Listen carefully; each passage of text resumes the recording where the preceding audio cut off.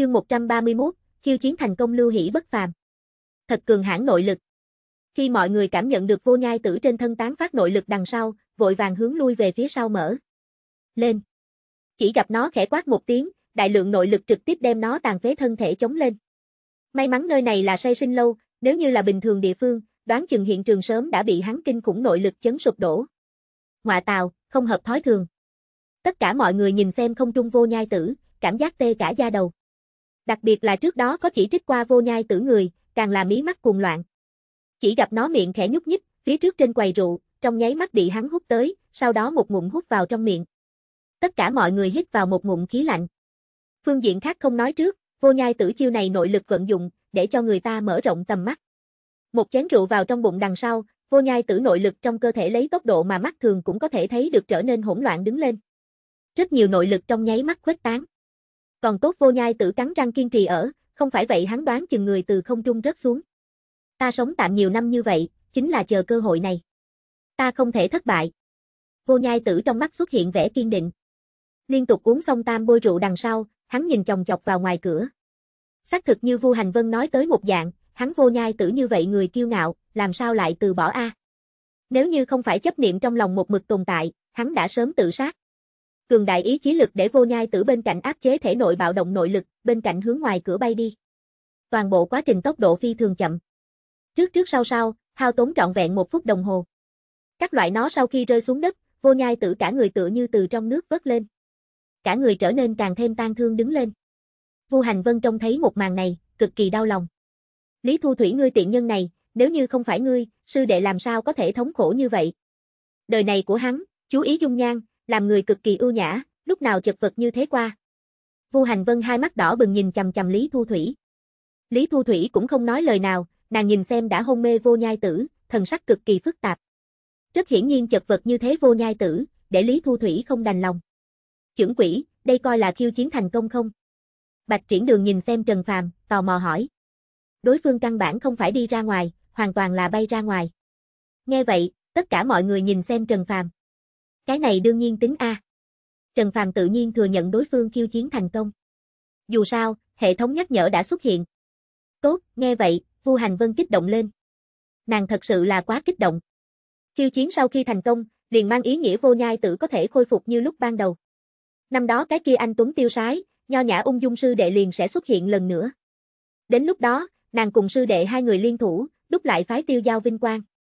Các ngươi chiếu cố tốt hắn, ta cũng muốn đi khiêu chiến sống mơ mơ màng màng. Vu Hành Vân sau khi nói xong, cũng hướng Trần Phàm phương hướng đi đến. Vu Hành Vân nghĩ rất rõ ràng, nếu như nàng có thể khiêu chiến sống mơ mơ màng màng thành công, liền cầu nguyện để cho mình khôi phục bình thường thân thể. Dù sao Lý Thu Thủy đã cùng sư đệ không có khả năng, nàng Vu Hành Vân rất có cơ hội. Vừa nghĩ tới về sau có thể cùng vô nhai tử vượt qua thần tiên thời gian, Vu Hành Vân kích động đến toàn thân khẽ run. Chưởng quỷ, ta muốn khiêu chiến sống mơ mơ màng màng. Vu Hành Vân vóc dáng rất thấp, lúc này chỉ có thể ngẩng đầu nhìn Trần Phàm. Bất quá trên mặt của nàng lại ông cụ non. Một màn này nhìn phi thường buồn cười, bất quá hiện trường căn bản không có mấy người dám cười nàng. Võ Thánh cường giả, nếu quả như thật đem đối phương làm mất lòng, hạ tràng kia tuyệt đối rất thảm. Phải biết, dùng đúng phương thân thể nói đùa, hoàn toàn là trên vết thương sát muối. Sư đệ. Uống xong chén thứ nhất sống mơ mơ màng màng đằng sau, Vu Hành Vân ánh mắt biến đổi, nàng nhìn thấy chính mình đã từng cùng vô nhai tử cùng một chỗ thời gian tốt đẹp. Lúc kia, hai người vui vẻ hòa thuận. Trong lúc nhất thời, Vu Hành Vân trầm mê ở say sinh lâu trong huyễn cảnh. Mổ mổ, không nên trầm mê trong đó, tiếp tục uống chén thứ hai a, một bên thị nữ, vội vàng mở miệng nhắc nhở. Nhưng là, Vu Hành Vân căn bản nghe không được. Coi như nghe thấy được, nàng cũng không muốn tỉnh lại. Vu Hành Vân, ngươi tiện hóa này, trầm mê ở trong đó làm gì? Lý Thu Thủy trong nháy mắt bất mãn lên. Cho dù là tại trong thế giới tinh thần, nàng cũng không muốn Vu Hành Vân cùng Vô Nhai Tử có bất kỳ liên quan. Trông thấy đối phương như vậy trầm luân biểu lộ, Lý Thu Thủy trong nháy mắt mở miệng đánh gãy. Quả nhiên, hay là cựu nhân Lý Thu Thủy lời nói có tác dụng. Nghe thấy lời nói này đằng sau, Vu Hành Vân trong nháy mắt thanh tĩnh một chút. Bất quá, nàng lúc này căn bản không để ý tới cùng Lý Thu Thủy đấu võ mồm, mà là trực tiếp uống xong chén thứ hai sống mơ mơ màng màng.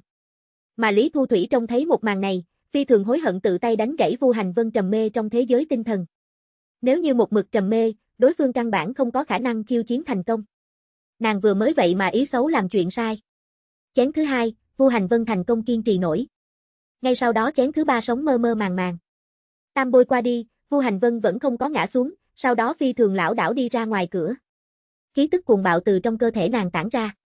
Bất quá, ngay tại Vu Hành Vân sắp khiêu chiến thành công thời điểm, nàng cảm giác thân hậu vô nhai tử đang kêu gọi nàng. Chỉ gặp Vu Hành Vân quay người, đi trở về mấy bước, cuối cùng té xỉu đi qua. Ha ha! Thương thiên phù hộ, ngươi tiện nhân này muốn dựa vào nguyện vọng khôi phục thân thể, đáng tiếc, lão thiên căn bản không bằng ngươi nguyện. Sư huynh vô nhai tử, chỉ có thể là ta Lý Thu Thủy. Hắn chỉ thuộc về ta. Lý Thu Thủy trông thấy vô hành vân thất bại, cả người như như là phát điên nở nụ cười. Ta cũng muốn khiêu chiến, khiêu chiến sau khi thành công, liền cầu nguyện để sư huynh một lần nữa yêu ta. Lý Thu Thủy sau khi nói xong câu đó, liền hướng phía trước đi đến. Nàng căn bản không che giấu mục đích của mình. Nàng Lý Thu Thủy làm cái gì, không cần người khác chỉ rõ. Tất cả mọi người nhìn xem Lý Thu Thủy, cảm thấy không thể tưởng tượng được. Đều đến tình trạng như vậy, lại còn muốn vô nhai tử hòa hảo. Cái này nếu để cho Lý Thu Thủy khiêu chiến thành công, vô nhai tử sợ là muốn bị buồn nôn chết. Đáng tiếc, Lý Thu Thủy tính toán không có đánh tốt. Nàng cũng thất bại. Nàng thậm chí còn không bằng Vu Hành Vân, chỉ là uống một chén, liền say ngã đi qua. Mọi người trông thấy Lý Thu Thủy thất bại đằng sau, cảm thấy vui mừng đồng thời, đồng dạng cảm thấy tàn khốc. Liền ngay cả võ thánh cảnh giới Lý Thu Thủy đều một chén đổ, cái này sống mơ mơ màng màng, có thể hay không khiêu chiến thành công, hoàn toàn dựa vào vận khí. Trông thấy Lý Thu Thủy ngã xuống đằng sau, Lý Thanh Lộ vội vàng tiến lên đem nó nâng đỡ.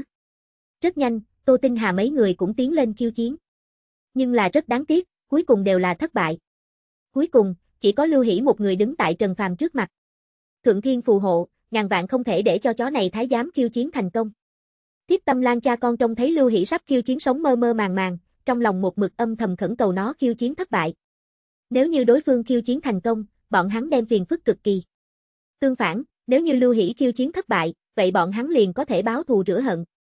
Chó này thái giám vậy mà âm thầm góp nhặt năm vị cực dương người giang hồ, muốn đột phá cách không hút công. Dạng này có uy hiếp bờ người, xem ra là lưu hắn không được. Chu vô thị hiếp hai mắt nhìn Lưu Hỷ. Đối phương như vậy giả tâm bừng bừng, ngàn vạn không thể lưu lại. Không phải vậy về sau sẽ đối với hắn sinh ra to lớn uy hiếp bờ. Hắn nhìn cách đó không xa thiết tâm lan bọn người, trong nháy mắt có ý nghĩ. Coi như Lưu Hỷ khiêu chiến thành công, bọn hắn mấy người kia liên thủ, chưa hẳn đánh không lại Lưu Hỷ. Phải biết hiện tại thiết tâm lan mặt kia không ít người. Yêu Nguyệt, Yêu Tinh, còn có hoa không thiếu sót, tiểu ngư nhi bọn người. Lại thêm bọn hắn hộ Long Sơn Trang những cao thủ này, còn sợ đánh không thắng Lưu Hỷ. Ngay tại Chu Vô Thị suy nghĩ như thế nào đối phó Lưu Hỷ thời điểm. Đột nhiên, chỉ gặp Lưu Hỷ trong tay sống mơ mơ màng màng, đột nhiên phát sinh biến hóa. Ngoạ tào, chó này thái giám lại là người có đại khí vận. Rất nhiều người cảm thấy vô cùng kinh ngạc. Không chỉ là những người này cảm thấy kinh ngạc, cho dù là Lưu Hỷ, một mặt khó có thể tin. Ngay sau đó, cả người hắn liền kích động lên. Sống mơ mơ màng màng phát sinh biến hóa, hoàn toàn tương đương cầm tới khiêu chiến thành công vé vào sân. Chỉ gặp hắn trong tay sống mơ mơ màng màng, lấy tốc độ mà mắt thường cũng có thể thấy được biến hóa ra một bức tranh kỳ quái. Tại chén rượu phía trên, chính quả nhỏ bé khác biệt hạt châu xuyên thành một đường thẳng. Cửu tinh liên châu. Hoàn toàn là Lưu Hỷ trong lòng nhớ mãi không quên cửu tinh liên châu. Giờ khắc này, Lưu Hỷ hai tay run rẩy lên. Cái này hoàn toàn mang ý nghĩa hắn có thể luyện thành cách không hút công, từ đây hoành hành giang hồ. Chỉ cần không trêu chọc sống mơ mơ màng màng, hắn Lưu Hỷ tương lai đều có thể, con đường phía trước một mảnh đường bằng phẳng. Rất nhiều người trông thấy Lưu Hỷ sống mơ mơ màng màng phát sinh biến hóa đằng sau, gọi thẳng thương thiên bất công. Ngay cả loại này lão thái giám đều khiêu chiến thành công, cái này khiến trong lòng bọn họ bất mãn hết sức. Lưu Hỷ hít sâu một hơi, mới đưa trong chén bị sống mơ mơ màng màng uống xong. Ha ha ha. Lúc trước là lúc trước, bây giờ là bây giờ. Yêu Nguyệt, Yêu Tinh, Chu Vô Thị, ta Lưu Hỷ hiện tại đứng ở trước mặt các ngươi, các ngươi nhìn ta còn có mấy phần giống như trước. Bản đốc chủ luyện thành cách không hút công, từ giờ trở đi, nội lực của các ngươi đều là bản đốc chủ. Bản đốc chủ trừ say sinh ngoài lầu, hoàn toàn có thể hoành hành không sợ. Lưu Hỷ trong miệng phát ra càng rỡ tiếng cười to. Yêu Nguyệt, Yêu Tinh, Chu Vô Thị. Bọn hắn nhìn xem Lưu Hỷ bộ dáng bây giờ, cảm thấy cực kỳ im lặng. Chỉ là uống xong chén thứ nhất sống mơ mơ màng màng, vậy mà huyễn tưởng đến chính mình luyện thành cách không hút công hình ảnh. Ngoại tào, Lưu Hỷ lão thái giám này, trong lòng vậy mà huyễn tưởng hấp thu yêu nguyệt, yêu tinh hai vị cung chủ nội lực. Đúng vậy a, coi là thật thật là lớn gan chó. Ta còn tưởng rằng nguyện vọng của hắn là muốn một lần nữa mọc ra tử tôn căn, không nghĩ tới gia hỏa này lại là kẻ hung hãn, vậy mà muốn lấy vô địch thiên hạ. Mọi người thấy Lưu Hỷ trong lòng bí mật, cũng là giật nảy cả mình. Lưu Hỷ mặc dù ở vào trong huyễn tưởng, nhưng là cũng không có quên đi mình tại khiêu chiến say sinh mộng. Bởi vậy hắn rất nhanh liền tỉnh lại, sau đó uống xong chén thứ hai sống mơ mơ màng màng. Ngay sau đó, chén thứ ba.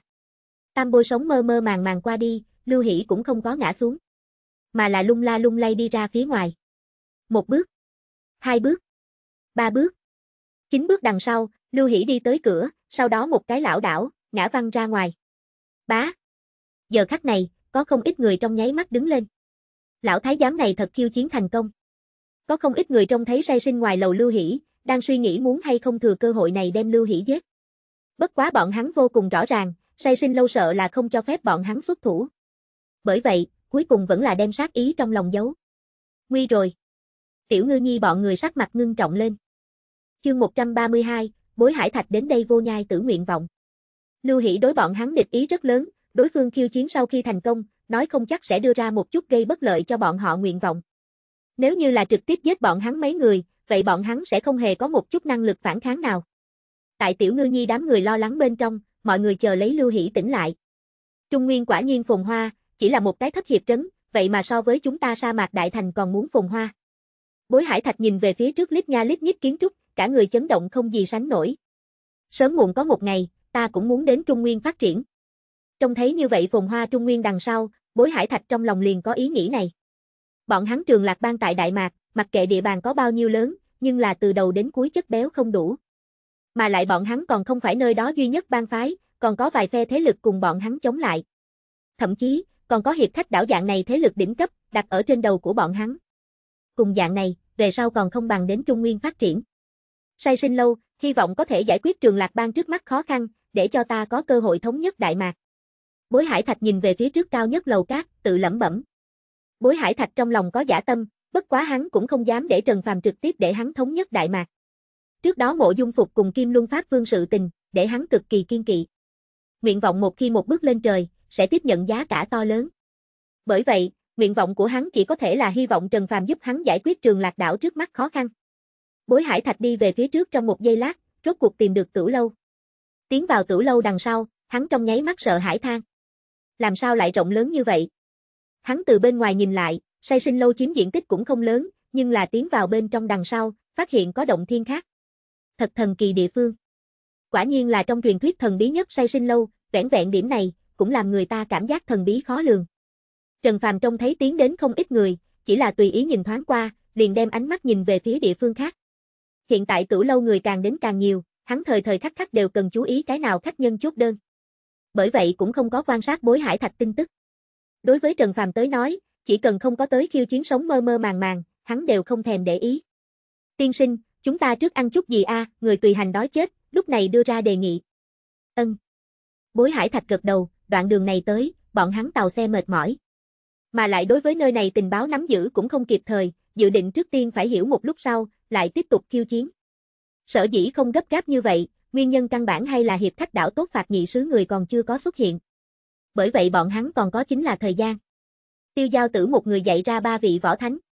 Ba vị võ thánh đến đây khiêu chiến, chỉ có một người thành công. Sai sinh lâu có được để cho người ta từ tiên thiên cảnh giới đột phá võ thánh cảnh giới trụ. Còn có được chiết xuất nội lực trụ. Khi hiểu rõ gần nhất tin tức đằng sau, bối hải thạch trợn mắt hốc mồm, trên mặt tràn đầy động dung. Ba vị võ thánh khiêu chiến, vậy mà chỉ thành công một người. Vậy bọn hắn còn có cơ hội không? Giờ khắc này, bối hải thạch lòng tin đại giảm. Cho dù là biết say sinh sau lầu còn đẩy ra không ít rượu ngon, tâm tình của bọn hắn cũng biến thành sa sút đứng lên. Bởi vì bọn hắn mục đích lần này, chính là thành công khiêu chiến sống mơ mơ màng màng đằng sau, để Trần Phàm trợ giúp bọn hắn lắng lại hiệp khách đảo chi họa. Chỉ có những cái kia có công hiệu rượu ngon, coi như hiệu quả rất mạnh, cũng không thể để bọn hắn thời gian ngắn có năng lực vượt qua hiệp khách đảo. Tiêu Giao Tử, Vu Hành Vân, Lý Thu Thủy. Làm sao những cường giả này, ta một cái đều không có nghe nói qua. Đạt được những người này tin tức đằng sau, bối hải thạch cho mày, trong cảm giác của hắn người vượng mới nhiều lắm. Lúc trước hắn còn tưởng rằng thống nhất Đại Mạc đằng sau, liền đến Trung Nguyên phát triển thế lực.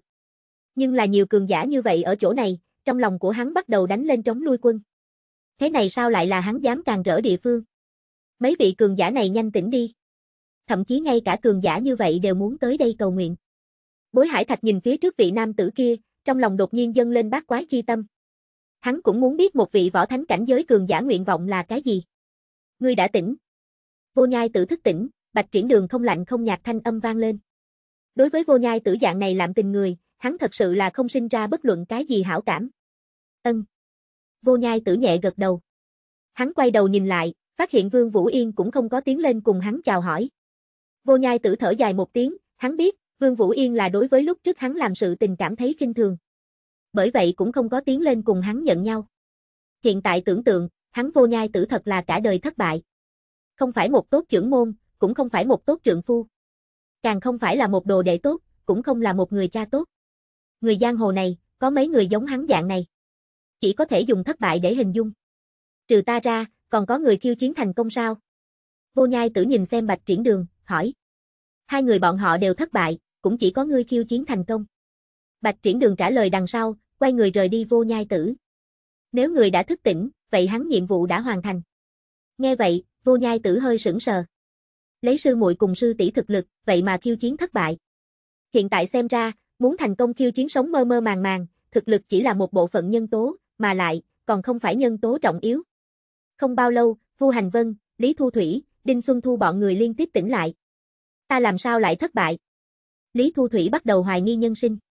Nàng cho là mình có thể khiêu chiến thành công, sau đó lại cùng vô nhai tử trở lại trước kia không buồn không lo thời gian. Nhưng là, hiện thực hung hăng cho nàng một bàn tay.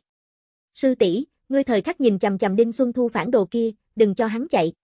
Vô nhai tử nhìn xem cảm xúc sa sút vô hành vân, dặn dò. Nghe vậy, Đinh Xuân Thu tê cả da đầu.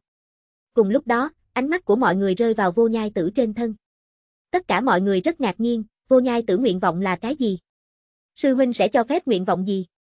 Là để say sinh lâu trực tiếp giết ta cùng Đinh Xuân Thu, hay là để say sinh lâu chữa cho tốt chính mình? Sau đó tự mình xuất thủ. Lý Thu Thủy nhìn xem vô nhai, trong lòng nổi lên gợn sóng. Bất kể như thế nào, ta hy vọng ta cuối cùng chết tại sư huynh trong tay của mình. Lúc này, toàn bộ tử lâu an tĩnh lại. Vô nhai tử nhìn xem Trần Phàm, hít sâu một hơi nói, Trần trưởng quỷ, ta hy vọng ngài có thể giúp ta chữa cho tốt sư tỷ Vu Hành Vân thân thể. Vô nhai tử nguyện vọng, không phải giết Đinh Xuân Thu, cũng không phải giết Lý Thu Thủy, càng không phải là đành phải thân thể của mình tàn tật, mà là chữa cho tốt Vu Hành Vân người lùng thân thể. Oanh! Lời này vừa nói ra đằng sau, toàn bộ tử lâu một trận xôn xao. Tất cả mọi người không nghĩ tới, vô nhai tử nguyện vọng lại là dạng này. Vô nhai tử. Hắn lại có lương tâm. Đây là lãng tử hồi đầu, hoàn toàn tỉnh ngộ A. Rốt cục làm một kiện giống người làm sự tình. Vô nhai tử, ta rốt cục mắt nhìn thẳng ngươi một cái.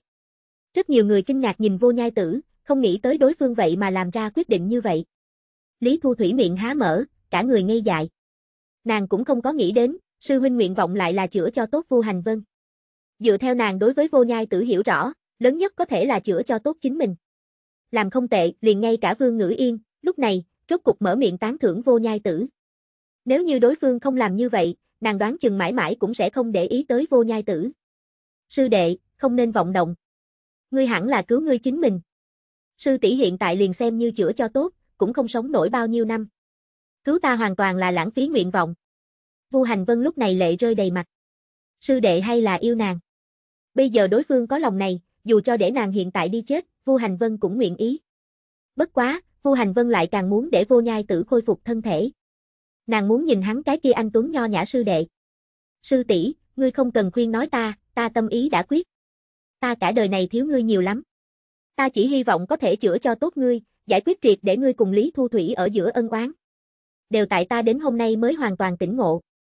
Ta mấy chục năm này, hoàn toàn thẹn với sư phụ kỳ vọng. Vô nhai tử trên mặt tràn ngập tự trách. Ta đáp ứng ngươi, từ giờ trở đi, ta cùng Lý Thu Thủy ân oán xóa bỏ. Cho dù là nàng muốn giết ta, ta đều không hoàn thủ. Ngươi nhanh một lần nữa cầu nguyện a. Vu Hành Vân quỳ gối vô nhai tử bên cạnh, đau khổ cầu khẩn. Chỉ cần có thể sửa đổi nguyện vọng, nàng yêu cầu gì đều có thể đáp ứng vô nhai tử. Về phần Lý Thu Thủy hại nàng cả một đời người lùng sự tình, Vu Hành Vân cũng sẽ không tiếp tục truy cứu. Nàng cả đời này, có sư đệ một câu nói kia là đủ rồi. Mà Lý Thu Thủy ngây ngẩn cả người. Nàng còn tưởng rằng vô nhai tử muốn giết nàng, không nghĩ tới lại là hóa giải nàng cùng Vu Hành Vân ở giữa mâu thuẫn. Xin mời trưởng quỹ hỗ trợ. Vô nhai tử cũng không có cải biến quyết định của mình, mà là thần sắc chăm chú nhìn Trần Phàm. Nghe vậy, Trần Phàm rốt cục đánh giá một chút vô nhai tử.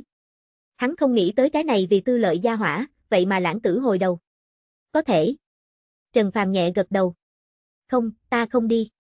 Ngươi nhanh chữa cho tốt vô nhai tử. Vu Hành Vân liều mạng lắc đầu, căn bản không nguyện ý cùng Trần Phàm về phía sau viện.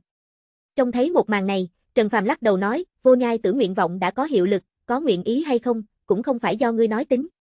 Trần Phàm trực tiếp tiến lên, mạnh mẽ dùng thực lực đem Vu Hành Vân bắt lấy, sau đó dẫn theo hướng phía sau đi đến. Vô nhai tử, ta đây.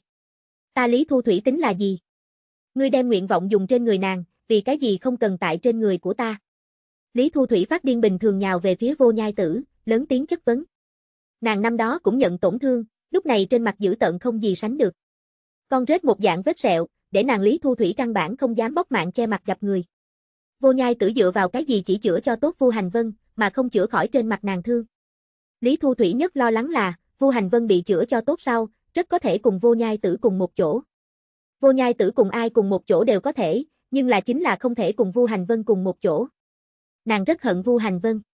Chỉ gặp vô nhai tử rất nghiêm túc nhìn xem Lý Thu Thủy, nói say sinh lâu có mấy loại rượu đều có thể chữa cho tốt trên mặt ngươi thương. Rất nhanh ngươi cũng có thể khôi phục tướng mạo. Sư tỷ của ngươi thân thể, chỉ có thể nguyện vọng mới có thể chữa cho tốt. Nếu như thương thế của các ngươi trao đổi, ta cũng sẽ ưu tiên dùng nguyện vọng chữa cho tốt ngươi. Chương 133, vô nhai tử quyết định trước đó kết thúc. Nghe thấy lời nói này đằng sau, Lý Thu Thủy cứ thế tại nguyên chỗ, không biết làm sao. Đã nhiều năm như vậy, vô nhai tử rốt cục dùng như vậy thanh âm ôn nhu nói chuyện cùng nàng. Nàng có chút khó tin nhìn xem vô nhai tử. Trước đó còn lớn hơn âm thanh mắng nàng là đảng phụ, bây giờ lại như vậy ôn nhu đối đãi nàng. Cái này khiến Lý Thu Thủy cảm thấy hoảng sợ. Ngươi muốn làm gì? Ta chỉ muốn hóa giải giữa các ngươi ân oán, đáp ứng ta, từ nay về sau, không cần tự giết lẫn nhau, được không? Vô nhai tử thần sắc chăm chú nhìn Lý Thu Thủy. Nếu như ta lệch không đáp ứng đâu. Lý Thu Thủy lui lại mấy bước, điên cuồng hét lớn. Ngươi sẽ đáp ứng ta. Vô nhai tử sau khi nói xong, quay đầu, nhìn thấy Vương Vũ Yên. Vũ Yên, có thể lên trước để cho ta nhìn xem ngươi sao? Nghe vậy, Vương Vũ Yên do dự một chút, mới đi tiến lên. Các ngươi không cần đấu nữa. Vương Vũ Yên nghĩ nghĩ, cuối cùng vẫn từ trong miệng nói ra câu nói này. Nàng thật hy vọng hai người có thể buông xuống cừu hận. Lý Thu Thủy không nói gì, mà là thần sắc chăm chú nhìn vô nhai tử. Vũ Yên, ông ngoại cả đời này, cô phụ rất rất nhiều người. Sống thêm xuống dưới, cũng cảm giác nhân sinh không có bất kỳ cái gì ý nghĩa. Vô nhai tử sau khi nói xong câu đó, trong thân thể nội lực, bắt đầu đại lượng ra bên ngoài tuôn ra. Mà Vương Ngữ Yên chỉ cảm thấy một cổ khó mà chống cự nội lực rót vào thân thể. Không cần a. Vương Ngữ Yên trong nháy mắt ý thức được vô nhai tử đang làm cái gì, thế mà đem hắn cả đời nội lực truyền cho nàng. Không cần nói, vận chuyển công pháp. Thiên phú của ngươi rất mạnh, chính là tu luyện cất bước đã chậm một chút. Hôm nay ta giúp ngươi một tay, để cho ngươi về sau có thể trên giang hồ có một chỗ cắm dùi. Từ nay về sau, ngươi liền giúp ông ngoại đem ngươi mẫu thân bảo vệ tốt. Vô nhai tử nội lực trong cơ thể, không giữ lại chút nào toàn bộ truyền tống cho Vương Vũ Yên. Nguyên bản không có gặp phải Vương Ngữ Yên trước đó, hắn là chuẩn bị đem nội lực của mình truyền cho người hữu duyên. Nhưng là không nghĩ tới, nhà mình ngoại tôn nữ mới là tốt nhất truyền nhân. Kinh mạch khoáng đạt, mà lại tu luyện Bắc Minh thần công. Hoàn toàn là đồng xuất nhất mạch. Sư huynh, ngươi nhanh đình chỉ a. Ngươi dạng này xuống dưới, ngươi sẽ chết. Ta đáp ứng ngươi, ta đáp ứng ngươi nói cùng Vu Hành Vân hòa giải, ta van cầu ngươi, ngươi đình chỉ có được hay không? Lý Thu Thủy hoảng sợ tiến lên, nàng đứng tại chỗ, hốt hoảng không ngừng dạo bước. Nàng căn bản không dám ngăn lại.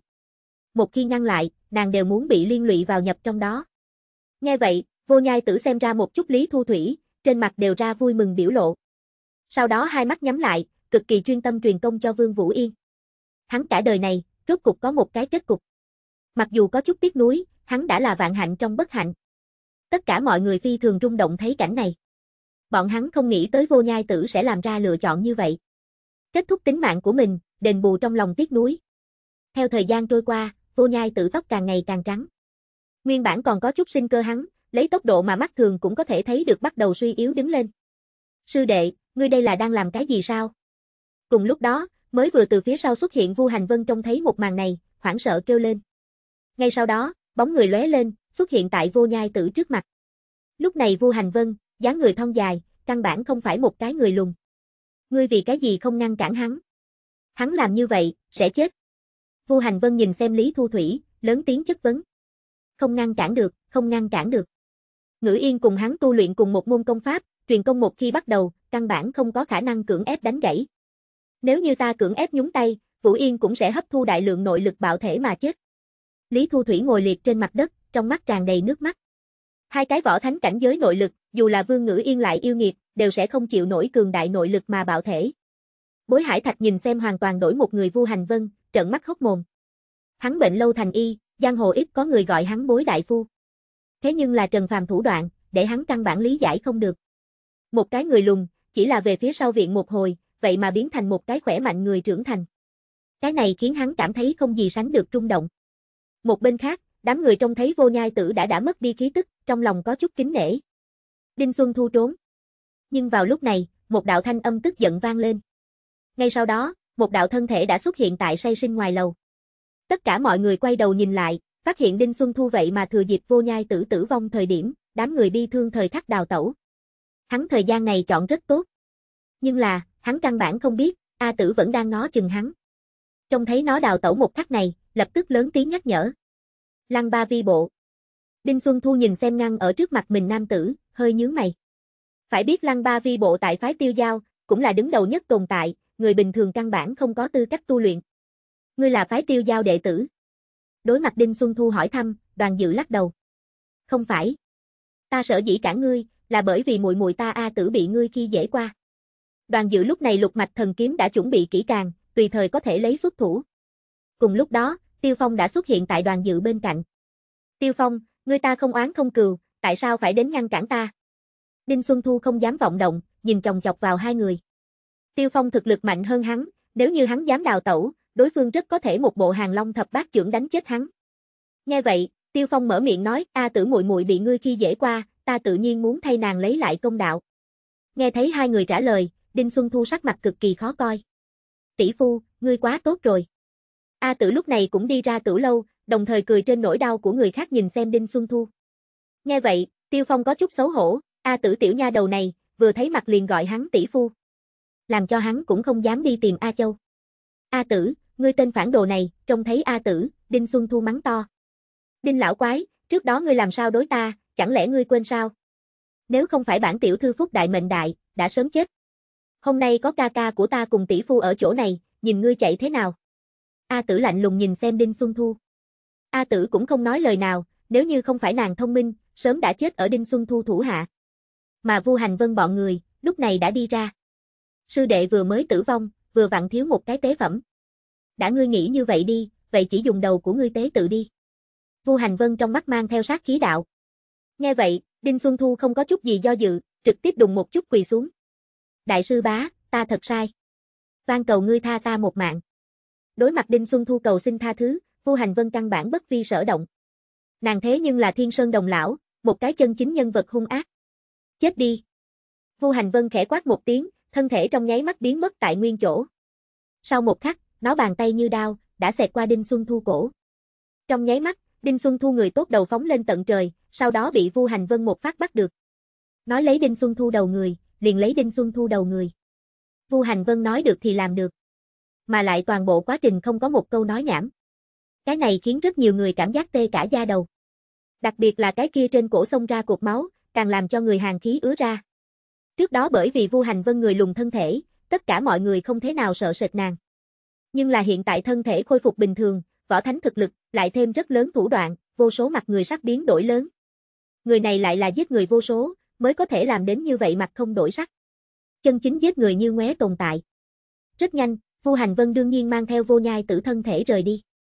Bọn hắn còn muốn trở về là vô nhai tử xử lý tang lễ, muốn cho vô nhai tử mau chóng nhập thổ vi an. Mà Vương Vũ Yên cũng đi theo Vu Hành Vân cùng rời đi, thời điểm rời đi, nàng đi đến Trần Phàm trước mặt nói cáo biệt, trưởng quỷ, ta sẽ mau chóng trở về. Vương Ngữ Yên lúc này cảm xúc sa sút, hai mắt đỏ bừng. Rất hiển nhiên vô nhai tử cử động, để Vương Ngữ Yên triệt để công nhận cái này ông ngoại. Chớ suy nghĩ quá nhiều. Ông ngoại ngươi tử vong, mới là hắn chân chính giải thoát. Trần Phàm đem Vương Vũ Yên khóe mắt nước mắt lau khô, an ủi. Đối với Vương Vũ Yên, Trần Phàm vẫn còn có chút quan tâm. Đem Vương Ngữ Yên đưa tiễn đằng sau, Trần Phàm trở lại quầy hàng. Không bao lâu, Lưu Hỷ tỉnh lại, sau đó trước tiên đi vào quầy hàng. Nguyện vọng của ngươi là cái gì? Trần Phàm nhìn xem Lưu Hỷ, chăm chú hỏi. Nghe vậy, rất nhiều người giang hồ đặt chén rượu xuống, sau đó đem ánh mắt nhìn xem Lưu Hỷ, bọn hắn cũng rất tò mò Lưu Hỷ nguyện vọng. Nguyện vọng là cái gì đây? Lúc này Lưu Hỷ, trong lòng tràn đầy xoắn xuýt. Là cầu nguyện đòi hỏi một mực nhớ thương Di Hoa tiếp một, hay là xin mời Trần Phàm trưởng quỹ hỗ trợ luyện thành cách không hút công? hoặc là khôi phục thân thể, một lần nữa làm một cái nam nhân bình thường. Những này Lưu Hỷ đều muốn. Rất đáng tiếc, chỉ có thể hứa một cái nguyện vọng. Trọn vẹn vùng vẫy một hồi lâu, Lưu Hỷ mới ngẩng đầu lên nói, Trần Phàm trưởng quỹ, ta muốn luyện thành cách không hút công. Cuối cùng, Lưu Hỷ làm ra quyết định này. Có thể một lần nữa khôi phục một cái nam nhân bình thường, tự nhiên để hắn rất vui vẻ. Nhưng là, Lưu Hỷ trong lòng rất rõ ràng, hắn có thể có được địa vị hôm nay, hoàn toàn là dựa vào thực lực của mình. Trong lòng không gái người, rút kiếm tự nhiên thần. Nếu như có thể luyện thành trong truyền thuyết cách không hút công, thực lực của hắn liền sẽ tiến thêm một bước. Đến lúc đó nói không chừng còn có thể lần thứ hai thành công khiêu chiến say sinh mộng, đến lúc đó tiếp tục hướng nguyện vọng này cũng không muộn. Nghe thấy Lưu Hỷ nguyện vọng đằng sau, thiết tâm lan mấy người cao mày. Lưu Hỷ bản thân thực lực liền rất mạnh, nếu để cho đối phương thật đã luyện thành trong truyền thuyết cách không hút công, đến lúc đó chỉ sợ không ai có thể ngăn cản hắn. Mà Chu Vô Thị lúc này thần sắc cũng cực kỳ ngưng trọng. Mặc dù không biết hấp công đại pháp có hay không cảnh giới này, nhưng là, chỉ cần hắn có lẽ nguyện, Trần Phàm trưởng quỷ nhất định sẽ đem nó tăng lên tới cảnh giới này. Đây chính là say sinh lâu. Cho dù nguyện vọng hư vô mờ mịt, bọn hắn đều có thể biến thành sự thật. Cách không hút công, đây là một cái không tồn tại cảnh giới. Trần Phàm mở miệng nói. Nghe vậy, Lưu Hỷ trên mặt trong nháy mắt tràn đầy hối hận. Vậy mà không có cảnh giới dạng này. Biết sớm như vậy, liền một lần nữa hứa một cái nguyện vọng. Bất quá, chúng ta say sinh lâu có thể cho ngươi đến cảnh giới này. Muốn đến cảnh giới này, ngươi liền đi theo ta. Trần Phàm sau khi nói xong, liền hướng hậu viện đi đến. Lưu Hỷ trong nháy mắt kích động lên. Không quá kích động đằng sau, hắn đột nhiên kịp phản ứng. Không đối. Loại cảnh giới này không tồn tại. Nếu như hắn đến đằng sau, có thể hay không biến thành kế tiếp Kim Luân Pháp Vương. Chương 134, càng rỡ Lưu Hỷ thảm tao vây công. Mặc kệ. Tên đã trên dây, không phát không được. Lưu Hỷ nghĩ đến mình tới đạt cách không hút công cảnh giới đằng sau, hoàn toàn có thể lại tiến thêm một bậc thang, thế là liền không nhịn được đuổi theo Trần Phàm. Lưu Hỷ thật kiên trì. Nếu như hắn luyện thành công phu như vậy, ai có thể ngăn cản a? Ai? Thời buổi rối loạn, ta có dự cảm giang hồ muốn loạn đi lên. Rất nhiều người giang hồ nghị luận lên. Đối với Lưu Hỷ làm người, có không ít người đều rất rõ ràng tính tình của hắn. Làm người giả tâm bừng bừng, không làm nhân sự. Nếu như hắn nắm giữ lực lượng như vậy, trên giang hồ tuyệt đối sẽ nhấc lên gió tanh mưa máu. Cách không hút công. Đối phương khẳng định sẽ trắng trợn bắt người luyện công. Có thể làm được tình trạng như vậy, có phải hay không là ngươi có thể giúp ta luyện thành dịch cân thần công? Bối Hải Thạch lúc này tâm thần kích động lên. Nếu như hắn có thể luyện thành dịch cân thần công, căn bản không e ngại hiệp khách đảo. Hiệp khách đảo mặc dù chỉ xuất hiện hai người, nhưng là có thể quét ngang bọn hắn đại mạc rất nhiều thế lực. Mà lại, ai biết hiệp khách đảo có bao nhiêu cao thủ như vậy? So ra mà nói, bối hải thạch vẫn cảm thấy xin mời say sinh lâu đi ra ngoài giải quyết hiệp khách đảo mới chắc chắn nhất. Nghĩ nghĩ, bối hải thạch hay là lựa chọn một cái ổn nhất kiện ý nghĩ. Đi ra. Bỗng nhiên, có người quát to lên. Bối hải thạch ngẩng đầu nhìn lại, đã nhìn thấy Trần Phàm mang theo Lưu Hỷ từ hậu viện đi ra. Lúc này Lưu Hỷ trên thân thể, có một cái chấm đen nhỏ xuất hiện. Cái này chấm đen nhỏ giống như là một cái vòng xoáy, lúc này tự hồ đang thôn vệ lấy cái gì. Cách không hút công, kể từ hôm nay, người giang hồ tất có ta Lưu Hỷ một chỗ cắm dùi. Lúc này Lưu Hỷ, khóe miệng điên cuồng dương lên. Ha ha ha. Phách lối. Đây là đám người đối với Lưu Hỷ lúc này cái nhìn. Các ngươi cho là ta sẽ giống Kim Luân Pháp Vương một dạng. Không biết trời cao đất rộng sao. Lưu Hỷ nhìn xem những người giang hồ này, biết những người giang hồ này đang suy nghĩ gì. Sai sinh lâu không có tăng lên ta nội lực, mà là tăng lên ta đối với hấp công đại pháp cảm ngộ. Lời vừa nói ra, những người giang hồ này sắc mặt trầm xuống. Lưu Hỷ tên chó chết này, thật bay lên. Mà Lưu Hỷ trông thấy những người giang hồ này lo lắng, trong lòng cực kỳ cao hứng. Hắn chính là muốn để những người này biết, từ nay về sau, hắn Lưu Hỷ không có khả năng gây. Phải biết, lúc trước hắn bởi vì gian biệt hạt sự tình, thế nhưng là có không ít người mắng hắn, thậm chí có người đối với hắn sinh ra địch ý. Bây giờ hắn Lưu Hỷ xoay người, làm sao không đắc ý một chút. Sách chiến, ngươi không phải muốn báo thù sao? Đến, ta tại cửa ra vào chờ ngươi. Lưu Hỷ cực kỳ phách lối đi ra tử lâu, thần sắc khiêu khích nhìn xem sắc chiến. Lưu Hỷ trực tiếp lát tơ chiến lập uy. Lão thái giám, ngươi thật sự cho rằng ta sợ ngươi, sắc chiến cũng là mãn phu, mặc dù biết đối phương rất mạnh, nhưng là hắn căn bản không sợ. Cha, nhìn xuống A. Thiết tâm lan lập tức tiến lên ngăn cản. Đáng tiếc, sắc chiến đã liền xông ra ngoài. Không có cách nào, thiết tâm lan chỉ có thể đi theo ra. Lưu Hỷ, đừng muốn làm càng. Tiểu ngư nhi cùng hoa vô khuyết cũng đi theo ra. Chỉ mấy người các ngươi người sao? Thực lực không đủ a. Lưu Hỷ hai tay chắp sau lưng, sắc mặt cực kỳ bình tĩnh nói. Như vậy, lại thêm ta đây, cùng lúc đó, yêu tinh thanh âm vang lên. Y nguyên không đủ. Yêu Nguyệt, ngươi muốn làm rùa đen rút đầu sao? Lập tức cút ra đây, hôm nay, ta Lưu Hỷ muốn tiêu diệt Di Hoa Cung. Lưu Hỷ quát lớn. Nếu như nó diệt vong, trước phải khiến cho điên cuồng. Lưu Hỷ, ngươi vẻn vẹn luyện đến cách không hút công cảnh giới, vậy mà như thế bành trướng. Yêu Nguyệt từ tử lâu đi ra. Cách không hút công. Nàng tu luyện Minh Nguyệt cung, không sợ nhất chính là Lưu Hỷ, mà lại vừa vặn thắt hấp công đại pháp. Lưu Công công cuồng vọng như vậy, cũng không để ý bản vương ra tay đi. Chu Vô Thị cười đi tới, ở phía sau hắn, còn đi theo thượng quan hải đường bọn người. Cách không hút công rốt cuộc mạnh cỡ nào. Hiện tại tất cả mọi người không biết, bởi vậy để cho an toàn, Chu Vô Thị tiến lên hỗ trợ. Hôm nay, tốt nhất đem Lưu Hỷ vĩnh viễn lưu tại nơi này. Nghe vậy, Lưu Hỷ hơi nhướng mày, thần sắc có chút ngưng trọng lên. Ta cũng đối công pháp của ngươi rất ngạc nhiên. Kiều Phong cười đi tới, lúc trước hắn liền cùng người này kết thù. Đương nhiên sẽ không chờ lấy Lưu Hỷ cường đại đằng sau lại đi đối phó hắn. Kiều Phong xuất hiện, phụ thân của hắn Tiêu Viễn Sơn tự nhiên cũng đi theo đi ra. Cách không hút công dạng này võ công, hơn nữa còn thu thập tại một cái người của triều đình trong tay, hiện tại nếu như không ngoại trừ, tương lai nhất định hậu hoạn vô tận. Ta cũng rất tò mò ta Bắc Minh thần công cùng ngươi hấp công đại pháp, đến cùng ai càng hơn một bậc. Đoàn dự cũng cười đi ra. Giờ khắc này, Lưu Hỷ trên mặt càng rỡ chi sắc biến mất không thấy gì nữa. Hắn chỉ là cảm giác tê cả da đầu. Bởi vì tại trong tầm mắt của hắn, còn có không ít cao thủ ngay tại đi ra. Ha ha, gia hỏa này, quá bành trướng. Hiện tại không cười. Thật sự coi chính mình vô địch thiên hạ. Chẳng lẽ lại hắn quên Kim Luân Pháp Vương coi như đem long tượng bàn nhược công tăng lên tới cảnh giới tối cao, còn không phải đã chết rồi sao? Tại nhiều cao thủ như vậy trước mặt. Lưu Hỷ lại còn dám như thế bành trướng, ta chỉ có thể nói, nghe con mới để không sợ cọp. Mọi người biết Lưu Hỷ bi kịch. Nếu như luyện thành công này đằng sau, lặng lẽ ổn định phát dục, vì trên giang hồ tất có hắn một bộ vị trí. Nhưng là, gia hỏa này hết lần này tới lần khác bành trướng không gì sánh được, trực tiếp ở chỗ này khiêu khích tứ phương. Hiện tại tốt, những cái kia cùng hắn có khúc mắt người, nhao nhao liên thủ.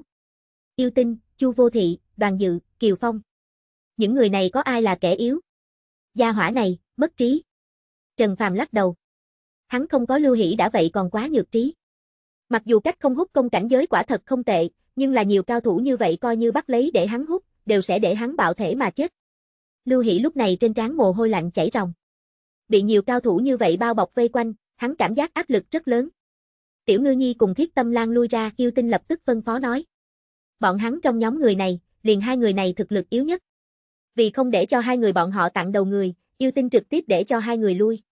Tiểu Ngư Nhi cùng Thiết Tâm Lan mặc dù phi thường không cam tâm, nhưng là, bọn hắn biết cường giả như vậy đối chiến, hai người bọn họ tiếp tục tham chiến lời nói, không những không được trợ giúp tác dụng, ngược lại sẽ còn cản trở. Tới đi, bây giờ đi đến một bước này, Lưu Hỷ cũng không lui lại con đường, chỉ có thể kiên trì bên trên. Giết! Lưu Hỷ trực tiếp đối với Thượng quan Hải đường phóng đi. Quả hồng còn chọn mềm bóp. Trong đám người này, Thượng quan Hải đường thực lực yếu nhất, Lưu Hỷ chuẩn bị trước đem Thượng quan Hải đường nội lực hút đi. Hải đường, lui lại. Về biển một đao trông thấy một màn này, không do dự, trực tiếp một đao bổ tới. Cùng lúc đó, một màn quỷ dị xuất hiện. Chỉ gặp Lưu Hỷ trên thân thể, cái kia quỷ dị điểm đen phản phất lỗ đen một dạng, lúc này bộc phát ra kinh người quang mang.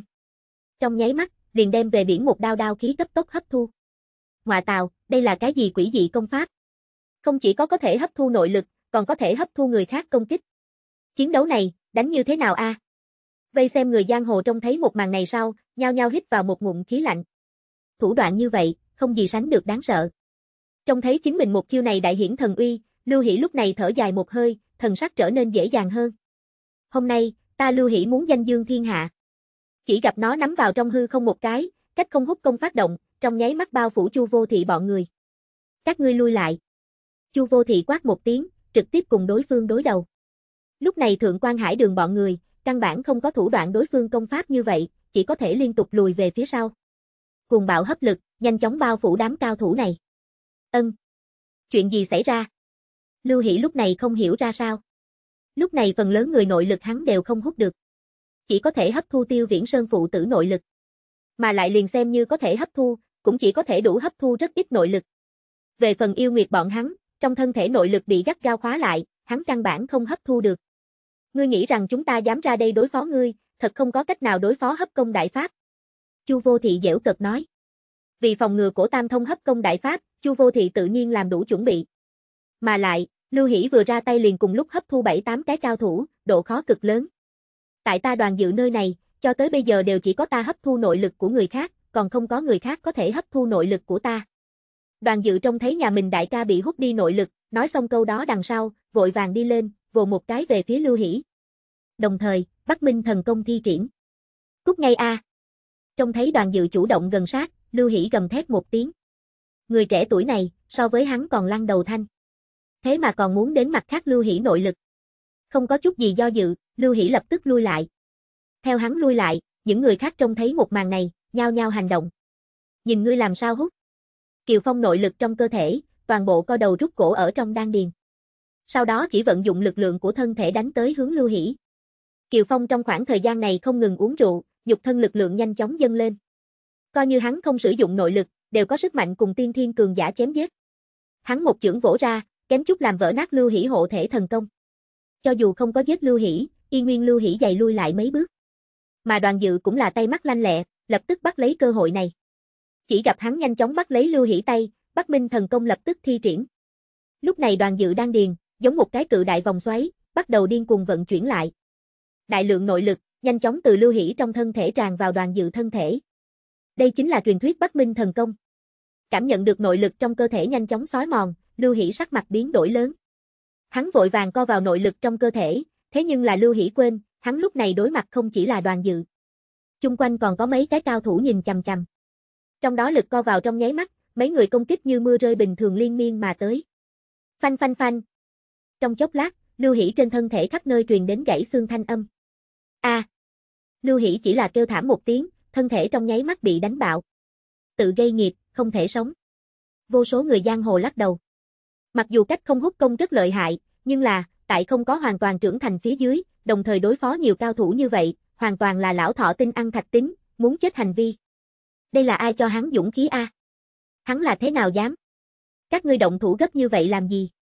Đoàn dự lúc này trên mặt, tràn đầy tiếc hận.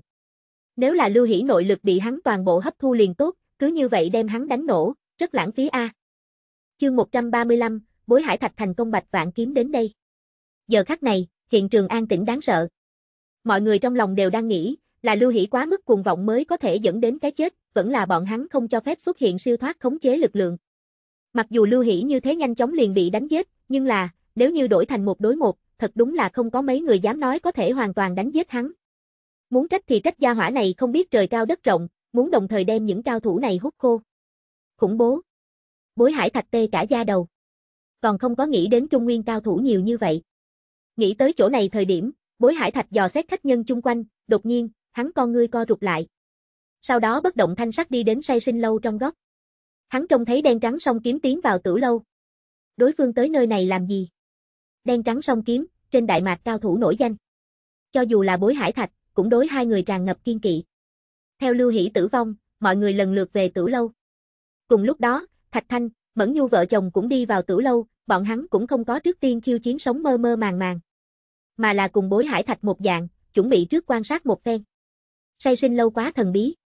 Thạch Thanh vẽ mặt nghiêm túc đạo.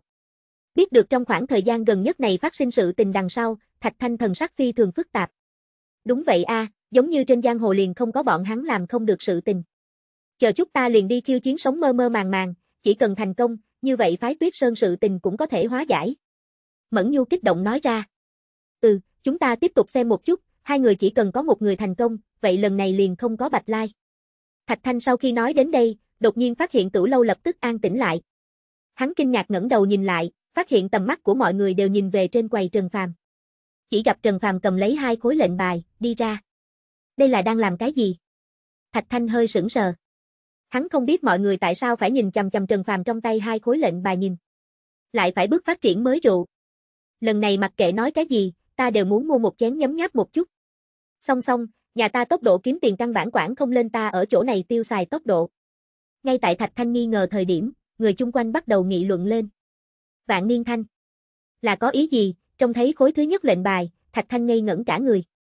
Không chỉ là hắn, rất nhiều người giang hồ đều ngây ngẩn cả người. Đây là một loại rượu mới, danh tự bên trên mặc dù có chút khoa trương. Nhưng là, hay là có nhất định tăng thọ năng lực. Dưới tình huống bình thường, tiếp tục sau khi uống xong, có thể tăng thọ 20 năm. Nếu như là người tu luyện, tỉ như nói Trương Tam Phong dạng này tiền bối, thì có thể gia tăng 30 năm đến 50 năm. Có thể tăng thọ 20 năm, để rất nhiều người con ngươi kịch liệt co vào. Ngoại tào, cái này hoàn toàn là đề cao chúng ta toàn bộ cửu châu bình quân tuổi tác. Mua, nhất định phải mua. Trần trưởng quỹ, xin hỏi bao nhiêu bạc một chén, có người nhịn không được hỏi.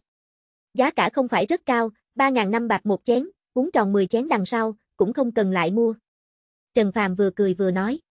Có thể gia tăng mấy chục năm tuổi thọ, giá cả như vậy kỳ thật cũng không cao. Thậm chí có thể nói là cải trắng giá. Rất nhiều có tiền có thế quý nhân, trước khi chết đều muốn tăng thọ, vì thế không tiếc hao phí thiên kim. Nhưng là, có bao nhiêu người có thể đủ thành công?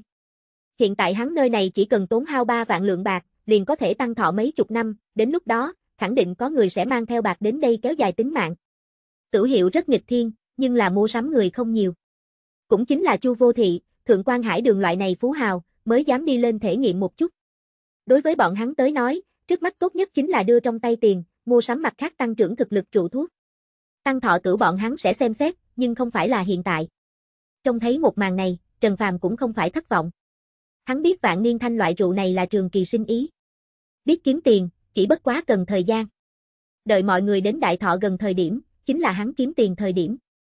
Rất nhanh, Trần Phàm treo lên thứ tấm bản hiệu. Tăng thần tử. Trông thấy danh tự này, Trương Tam Phong trong nháy mắt sáng lên. Trần trưởng quỹ, xin hỏi loại rượu này có cái gì công hiệu? Phong Thanh Dương nhịn không được hỏi. Đối với trước đó vạn niên thanh, hắn trông mà thèm không không thôi. Bất quá bây giờ phái Hoa Sơn không có tiền, hắn cũng chỉ có thể đủ làm nhìn xem. Đây là một loại rất đặc thù rượu. Nếu như không có đến võ thánh cảnh giới, xin đừng nên mua sắm, nếu không chết về sau ta không chịu trách nhiệm. Hắn công hiệu là có thể gia tăng tinh thần lực. Trần Phàm giải thích nói. Đến võ thánh cảnh giới, đã chạm đến tinh thần lĩnh vực. Chỉ có tinh thần lực không ngừng đề cao, mới có thể đến cảnh giới càng cao hơn. Bởi vậy thấp hơn người ở cảnh giới này uống, rất có thể tạo thành thần trí không rõ. Cuối cùng trở thành một cái người điên.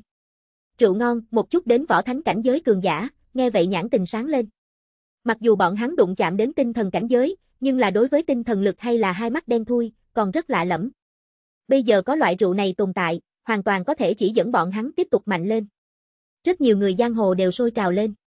Mặc dù rượu này bọn hắn hiện tại không dùng được, nhưng là, cái này khiến bọn hắn thấy được về sau chỉ cần đi theo say sinh lâu, liền có thể không ngừng mạnh lên. Thậm chí đạt tới cảnh giới trong truyền thuyết. Bối Hải Thạch, Thạch Thanh, Mẫn Nhu ba người còn muốn quan sát một phen, nhưng nhìn gặp hai loại rượu đằng sau, cũng nhịn không được nữa. Các loại Trần Phàm đem những này mua sắm rượu người xử lý tốt đằng sau, bọn hắn lập tức đi đến quầy hàng xếp hàng. Bối Hải Thạch. Thạch Thanh nhìn xem Bối Hải Thạch hơi nhướng mày. Gia hỏa này giả tâm bừng bừng, tới đây kêu chiến sống mơ mơ màng màng, cũng không phải là muốn để say sinh lâu ra mặt giúp trường lạc bang thống nhất toàn bộ Đại Mạc đi. Đen trắng song kiếm, đã lâu không gặp, không biết các ngươi đem chúng ta ban chủ giấu đi nơi nào. Bối Hải Thạch nhìn xem hai người, trước tiên mở miệng chất vấn. Thạch Trung Ngọc là Thạch Thanh Nhi tử.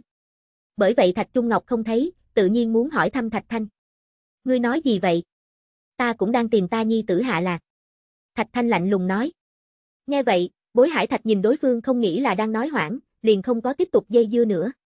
Dù sao Thạch Trung Ngọc chỉ là hắn một cái kẻ chết thay mà thôi. Nếu như đối phương có thể giải quyết hiệp khách đảo mầm tai vạ, vậy dĩ nhiên không thể tốt hơn. Nếu như không giải quyết được, vậy liền chết đi coi như xong. Về phần đối phương còn muốn tiếp tục làm bọn hắn trường lạc ban trợ giúp chủ. Đó căn bản không có khả năng. Tới đi. Trần Phàm nhìn xem có người khiêu chiến, trên mặt tràn đầy ý cười. Hắn nghe thấy mấy người đối thoại, liền nhìn mấy người kia tin tức, trong nháy mắt liền biết mấy người kia ở giữa cố sự. Phiền phức trưởng quỷ. Thạch Thanh ôm quyền cảm tạ đằng sau, mới đưa tay bưng qua chén rượu. Làm hắn có chút thất vọng sự tình, sống mơ mơ màng màng không có sinh ra bất kỳ biến hóa nào. Thạch Thanh hít sâu một hơi, uống một hơi cạn sạch. Thứ hai chén. Thứ ba chén. Trông thấy Thạch Thanh tốc độ nhanh như vậy, đồng thời thành công uống xong ba chén sống mơ mơ màng màng. Rất nhiều người đều cho là hắn sẽ khiêu chiến thành công. Nhưng là làm cho người không có nghĩ tới là, ba chén qua đi, không có bất kỳ cái gì dấu hiệu, Thạch Thanh liền ngã xuống dưới. Rất nhanh đến phiên Mẫn Nhu, chỉ gặp nó có chút khẩn trương bưng qua chén rượu. Sống mơ mơ màng màng vẫn không có bất kỳ biến hóa nào.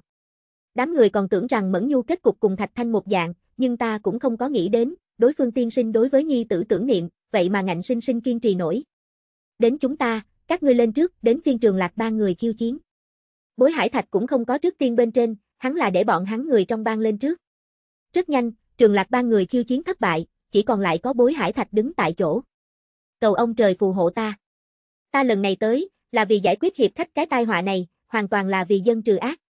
Bối hải thạch trong lòng khẩn cầu một lần lão thiên, mới đi tiến lên tiếp nhận sống mơ mơ màng màng. Bá. Khi hắn tiếp nhận chén rượu trong nháy mắt, trong chén rượu mặt sống mơ mơ màng màng liền phát sinh biến hóa, một trận quang mang bắt đầu lập lòe đứng lên. Ngoại tào, lại có người để sống mơ mơ màng màng sinh ra biến hóa. Người kia là ai? Làm sao như vậy lạ mặt? Không biết, bất quá nhìn nó giả dạng, không giống như là chúng ta trung nguyên người. Ta biết hắn, người này là bối hải thạch, là đại mạc đỉnh cấp cao thủ một trong, hắn dẫn đầu trường lạc bang, hiện tại chiếm cứ đại mạc một nửa trở lên địa bàn, xem như một nhân vật. Nguyên lai là bối hải thạch, nghe nói người này diệu thủ hồi xuân, xem ra cũng là một cái người có khí vận. Bối hải thạch gây nên sống mơ mơ màng màng biến hóa, trong nháy mắt hấp dẫn rất nhiều người giang hồ chú ý. Đặc biệt là biết được nó thân phận đằng sau, đám người một trận giật mình. Không có bất kỳ cái gì ngoài ý muốn, hắn khiêu chiến thành công.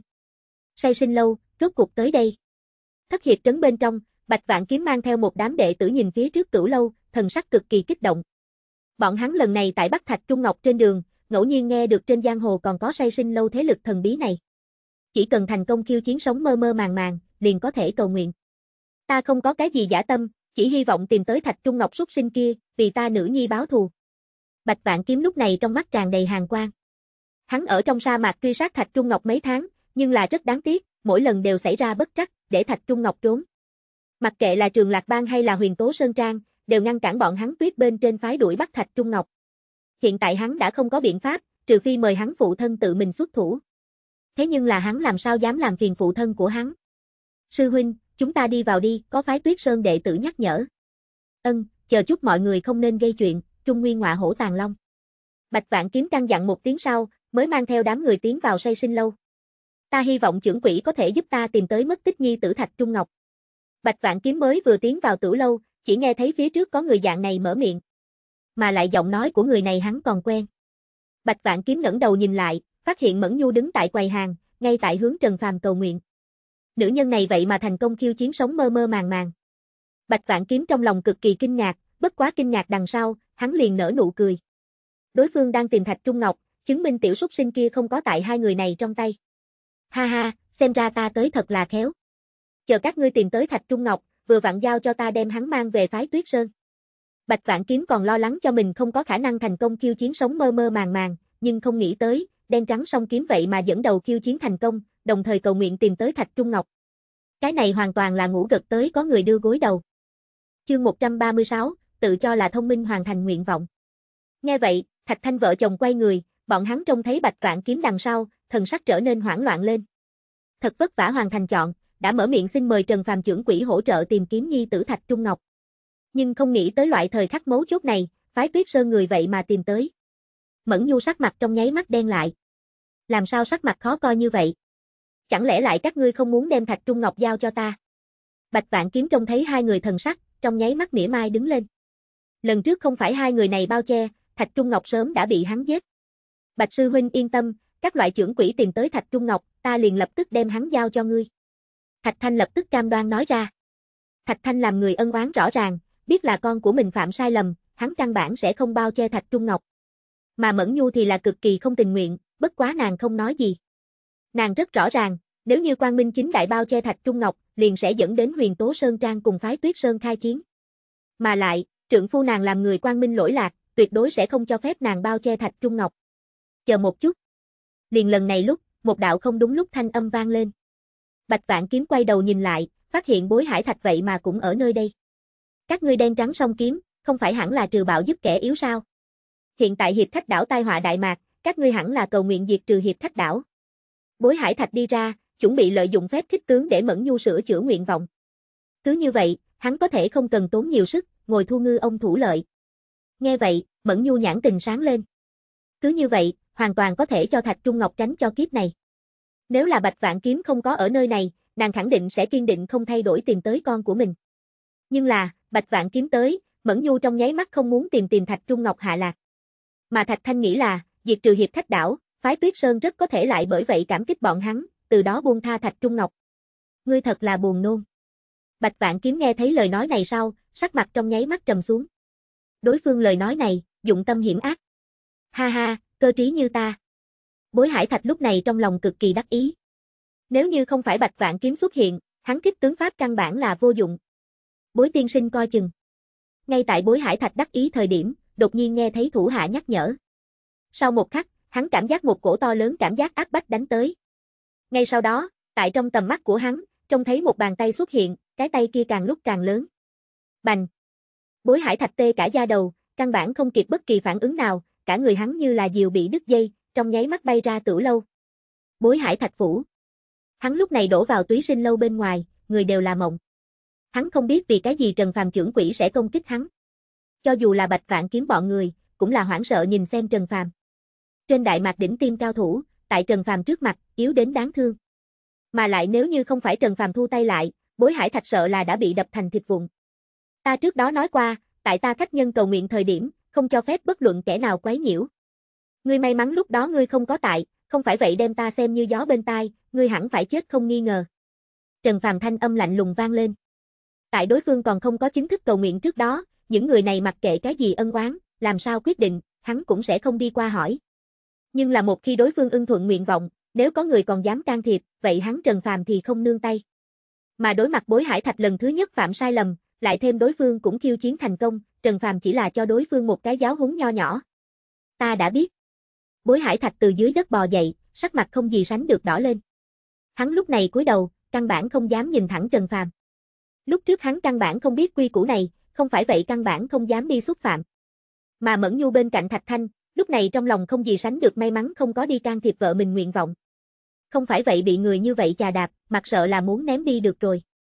Bối hải thạch xám xịt đi trở về, sau khi trở về, căn bản không dám nói nữa. Tìm kiếm thạch trung ngọc đúng không? Trần Phàm nhìn xem Mẫn Nhu, hỏi. Nghe vậy, Mẫn Nhu vội vàng gật đầu. Nàng cũng bị hù dọa. Nàng không nghĩ tới cái này nhìn ôn tồn lễ độ trưởng quỷ, vậy mà nói động thủ liền động thủ. Mà lại căn bản không cho bất luận kẻ nào mặt mũi. Làm người cường thế lại bá đạo. Vậy ngươi chờ một chút. Trần Phàm nhẹ gật đầu, sau đó quay người đi tới hậu viện. Ha ha, bối hải thạch, ngươi cũng có hôm nay a. À. Các loại Trần Phàm đi đằng sau, Bạch Vạn Kiếm lập tức giễu cợt bối hải thạch. Mà bối hải thạch lúc này căn bản không dám phản bác, chỉ có thể làm bộ nghe không được. Hắn hiện tại là thật sợ. Vừa mới Trần Phàm công kích, để hắn cảm giác chính mình hoàn toàn là tự thân trong biển rộng một chiếc thuyền con, tùy thời đều có thể hủy diệt. Sự chênh lệch giữa bọn họ, tựa như lạch trời. Bích Loa đảo. Sư phụ, A Tú, các ngươi đang làm gì đấy? Thạch Phá Thiên ôm vừa mới tìm tới trái cây, cao hứng hô. Đại ca. Nghe vậy, A Tú đi ra nhà tranh, nàng nhìn xem Thạch Phá Thiên, vội vàng tiến lên tiếp nhận nó trong tay trái cây. Vất vả rồi. Phá Thiên, tới luyện công đi, cùng lúc đó, Sử Tiểu Thúy đối với Thạch Phá Thiên hô. Nhưng sau một khắc, nguyên bản ngồi xếp bằng Sử Tiểu Thúy, trong nháy mắt đứng lên. Tại trong tầm mắt của nàng, phía trước 5 mét bên ngoài, hư không bắt đầu nhộn nhạo. Đồng thời, hào quang chói sáng bắt đầu nở rộ. Nãy nãy, đó là cái gì a? A Tú cùng Thạch Phá Thiên trông thấy một màn này, trên mặt xuất hiện vẻ hoảng sợ. Có người. Thạch Phá Thiên trông thấy hư không phía trước bên trong, xuất hiện một bóng người thời điểm, dọa đến toàn thân phát run. Tại hạ túy sinh lâu Trần Phàm, gặp qua các vị. Trần Phàm Trần Phàm đằng sau, ông quyền nói ra. Ngươi là người sao? A Tú nghe xong Trần Phàm giới thiệu đằng sau, nhịn không được tiến lên nhẹ nhàng sờ soạn một chút Trần Phàm, trên mặt tràn ngập tò mò. Xin hỏi tiền bối tới đây, có chuyện gì không? Sử tiểu thúy vẻ mặt nghiêm túc đạo. Loại này quỷ dị ra sân phương thức, để nàng cho mày. Cái này đã siêu việt nàng nhận biết. Túy sinh lâu. Từ trong hư không đi ra. Thế này sao lại là thuộc về người phạm trù? Thạch phá thiên mẫu thân hướng ta cầu nguyện, hy vọng ta đem hắn mang về. Trần Phàm liếc qua thạch phá thiên, như nói thật đạo. Mẫu thân của ta hướng ngươi cầu nguyện sao? Vậy thì tốt quá, ta lập tức cùng ngươi đi. Thạch phá thiên cũng rất muốn mẹ của hắn Mẫn Nhu, bởi vậy nghe thấy lời nói này đằng sau, trong nháy mắt kích động lên. Bất quá, kích động đằng sau, hắn nhìn xem A Tú cùng Sử Tiểu Thúy, trên mặt tràn đầy do dự. Tiền bối, ta lo lắng Ninh Bất Tứ tìm tới A Tú cùng sư phụ, ngươi có thể hay không nói cho ta biết các ngươi ở nơi nào? Chờ chúng ta thoát khỏi nguy hiểm đằng sau, ta trước tiên liền đến tìm ngươi. Không được. Trần Phàm trực tiếp cự tuyệt. Nghe thấy Trần Phàm cự tuyệt đằng sau, Thạch Phá Thiên cao mày, một bên là thân nhân, một bên chỉ là A Tú cùng sư phụ, hắn căn bản không biết nên làm sao bây giờ. Đại ca, ngươi trước cùng tiền bối đi qua đi. Ta cùng nãi nãi không có chuyện gì. A Tú làm một cái khéo hiểu lòng người nữ hài tử, biết bỏ lỡ cơ hội như vậy, đại ca muốn lại tìm đến mẹ của mình sợ là phi thường khó khăn. Bởi vậy nàng trực tiếp mở miệng đi thuyết phục Thạch Phá Thiên. Mà sử tiểu thúy trong lòng cực kỳ không cao hứng. Nàng còn muốn thạch phá thiên giúp nàng thu thập đinh lão tứ cùng phái tuyết sơn người. Có thể đối mặt quỷ thần khó lường trần phàm, trên mặt của nàng căn bản không dám biểu lộ ra. Ta có thể đem các ngươi cùng một chỗ mang về. Trần Phàm chậm rãi nói ra. Xin hỏi tiền bối, túy sinh lâu ở nơi nào? Sử tiểu thúy vội vàng hỏi. Nàng là thật không muốn ở lại nơi này. Đại Tống, thất hiệp trấn. Trần Phàm nhẫn nại tính tình trả lời. Đi thôi. Trần Phàm sau khi nói xong, mở ra cánh cửa thần kỳ. Hắn thật không muốn động thủ, nhưng là nếu như đối phương không nguyện ý, hắn cũng chỉ có thể động thủ. Tốt. Thạch Phá Thiên lập tức lôi kéo hai người, nhanh chóng đi theo Trần Phàm tiến vào cánh cửa thần kỳ. Túy sinh lâu hậu viện. A Tú, Sử Tiểu Thúy, Thạch Phá Thiên ba người nhìn xem tráng lệ hậu viện, cứ thế tại nguyên chỗ. Bọn hắn vừa mới cảm giác mình xuyên qua một tầng cách ngăn, sau đó liền đến đến nơi đây. Chúng ta cái này đến Đại Tống. Thạch Phá Thiên nội tâm rung động không thôi, trong lòng nổi lên to lớn gợn sóng. Đến. Các ngươi ở chỗ này chờ một chút, ta còn có chuyện. Trần Phàm buông xuống một câu, sau đó lập tức quay người, lần nữa mở ra cánh cửa thần kỳ. Sử Tiểu Thúy lúc này hai tay dựng thẳng lên, nàng nghe thấy có người uống rượu thanh âm. Tự hồ có rất nhiều người ở bên ngoài tụ tập. Coi như Sử Tiểu Thúy chuẩn bị đi ra thời điểm, đột nhiên nghe thấy cháu gái nhà mình kinh hô lên. Thạch Trung Ngọc. Sử Tiểu Thúy đột nhiên quay đầu, phát hiện Trần Phàm mang theo một cái cùng Thạch Phá Thiên giống nhau như đúc người trở về. A, ngươi là ai? Thạch Trung Ngọc nhìn xem Thạch Phá Thiên, cứ thế ngay tại chỗ. Người này tại sao cùng hắn giống nhau như đúc? Ta biết trong lòng các ngươi có nghi hoặc, bất quá chờ một chút, các ngươi liền sẽ biết sự thật tính chân tướng. Đi thôi, ra ngoài cùng các ngươi cha mẹ nhận nhau. Trần Phàm mang theo mấy người, đi ra hậu viện. Tốt, đây là con của ngươi, ta đã cho ngươi tìm trở về. Trần Phàm đối với Mẫn Nhu nói ra. Nghe vậy, mặc kệ là Thạch Thanh hay là Mẫn Nhu, đều là trợn mắt hốc mồm. Làm sao lại nhanh như vậy? Mà Thạch Trung Ngọc lập tức chạy đến Mẫn Nhu bên người, kích động nói, mẹ. Trông thấy A Tú, Bạch Vạn Kiếm cũng kích động lên. Hắn cũng không có nghĩ đến, Trần Phàm trưởng quỷ đi tìm người, vậy mà đem hắn mẫu thân sử tiểu thúy cùng nữ nhi A Tú cũng tìm trở về. Song phương nhận nhau, tràn diện cực kỳ ấm áp. Nhưng là chỉ có Thạch Phá Thiên đứng tại chỗ, không biết làm sao. Ta thân nhân ở nơi nào? Thạch Phá Thiên quay người nhìn xem Trần Phàm, trên mặt tràn đầy nghi hoặc. Thân nhân ngươi ngay tại chỗ nào đâu? Trần Phàm chỉ vào Mẫn Nhu nói ra.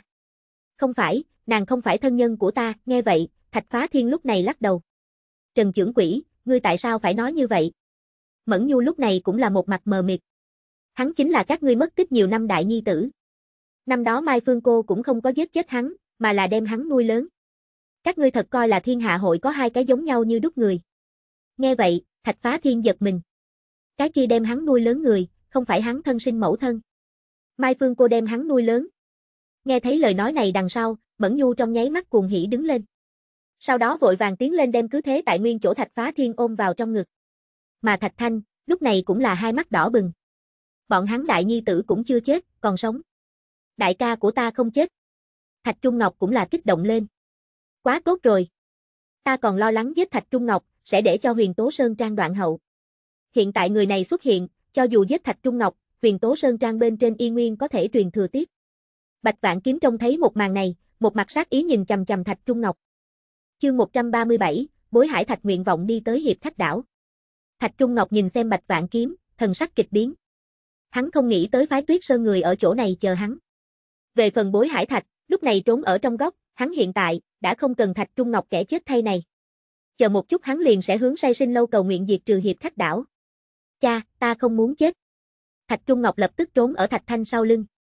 Bạch sư huynh, bây giờ A Tú còn sống, chuyện này không bằng xóa bỏ đi.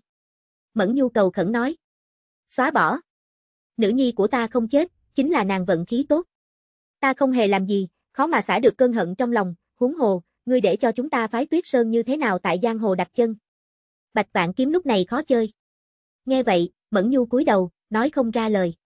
Bởi vì chuyện này đúng là bọn hắn đối lý. Con của hắn Thạch Trung Ngọc ý đồ làm bẩn A Tú. Phái Tuyết Sơn muốn giết Thạch Trung Ngọc, cũng không quá phận. Đổi thành nữ nhi của mình bị như thế trà đạp, nàng cũng sẽ trả thù. Bắt hắn cho ta trói lại. Bạch Vạn Kiếm phân phó nói. Bạch Sư Huynh không cần như vậy, có ta ở đây nơi này, hắn chạy không được. Nếu như hắn chạy, ta tự sát tạ tội. Thạch Thanh rất thống hận con của mình bất tranh khí, nhưng là, không có cách nào, cha không dạy con chi tội. Giờ khắc này, hắn không có hướng Bạch Vạn Kiếm cầu tình, bởi vì hắn biết con trai của mình là cái khắp nơi hủy người trong sạch súc sinh. Mà Thạch Phá Thiên thì là không hiểu ra sao, cho đến bây giờ cũng không tin Mẫn Nhu là mẫu thân hắn. Rất nhanh, tại Mẫn Nhu giới thiệu, hắn mới biết được say sinh lâu là cái dạng gì thế lực. Bạch Vạn Kiếm cũng là cùng mình mẫu thân giới thiệu say sinh lâu. Mà liền tại lúc này, chỉ gặp bối hải thạch đi hướng Trần Phàm. Ánh mắt mọi người trong nháy mắt rơi vào trên thân nó, bọn hắn cũng tò mò trường lạc ban chân chính trưởng khống giả, hôm nay sẽ cho phép ra nguyện vọng gì. Chỉ gặp nó suy nghĩ một lát, mới mở miệng nói, chư vị hẳn là đều biết, chúng ta Đại Mạc tại 30 năm xuất hiện một thế lực. Hiệp khách đảo, trên danh nghĩa là thưởng thiện phạt ác.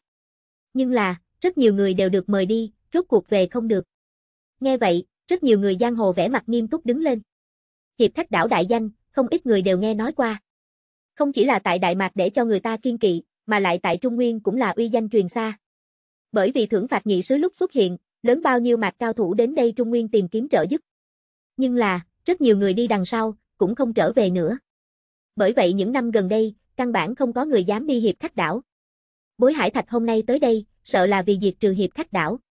Rất có thể, nếu như có thể diệt trừ hiệp khách đảo, dài như vậy vui giúp liền có thể nhanh chóng thống nhất Đại Mạc. Đúng là dạng này, bối Hải Thạch làm như vậy, hoàn toàn là trừ ác dương thiện, đến lúc đó vung cánh tay hô lên, sẽ có vô số người đầu nhập vào hắn. Rất nhiều người phân tích ra bối Hải Thạch mục đích làm như vậy. Hiệp khách đảo xác thực có vấn đề. Mặc kệ người tốt hay là người xấu, chỉ cần đi qua đằng sau rốt cuộc về không được. Cái này khiến rất nhiều người vô cùng kiên kỵ. Những năm này, chúng ta Đại Mạc không biết có bao nhiêu cao thủ chết tại Đại Mạc. Bây giờ, chẳng mấy chốc sẽ đến tốt phạt nhị sứ thời điểm xuất hiện. Thực lực của bọn hắn một mực là ẩn số.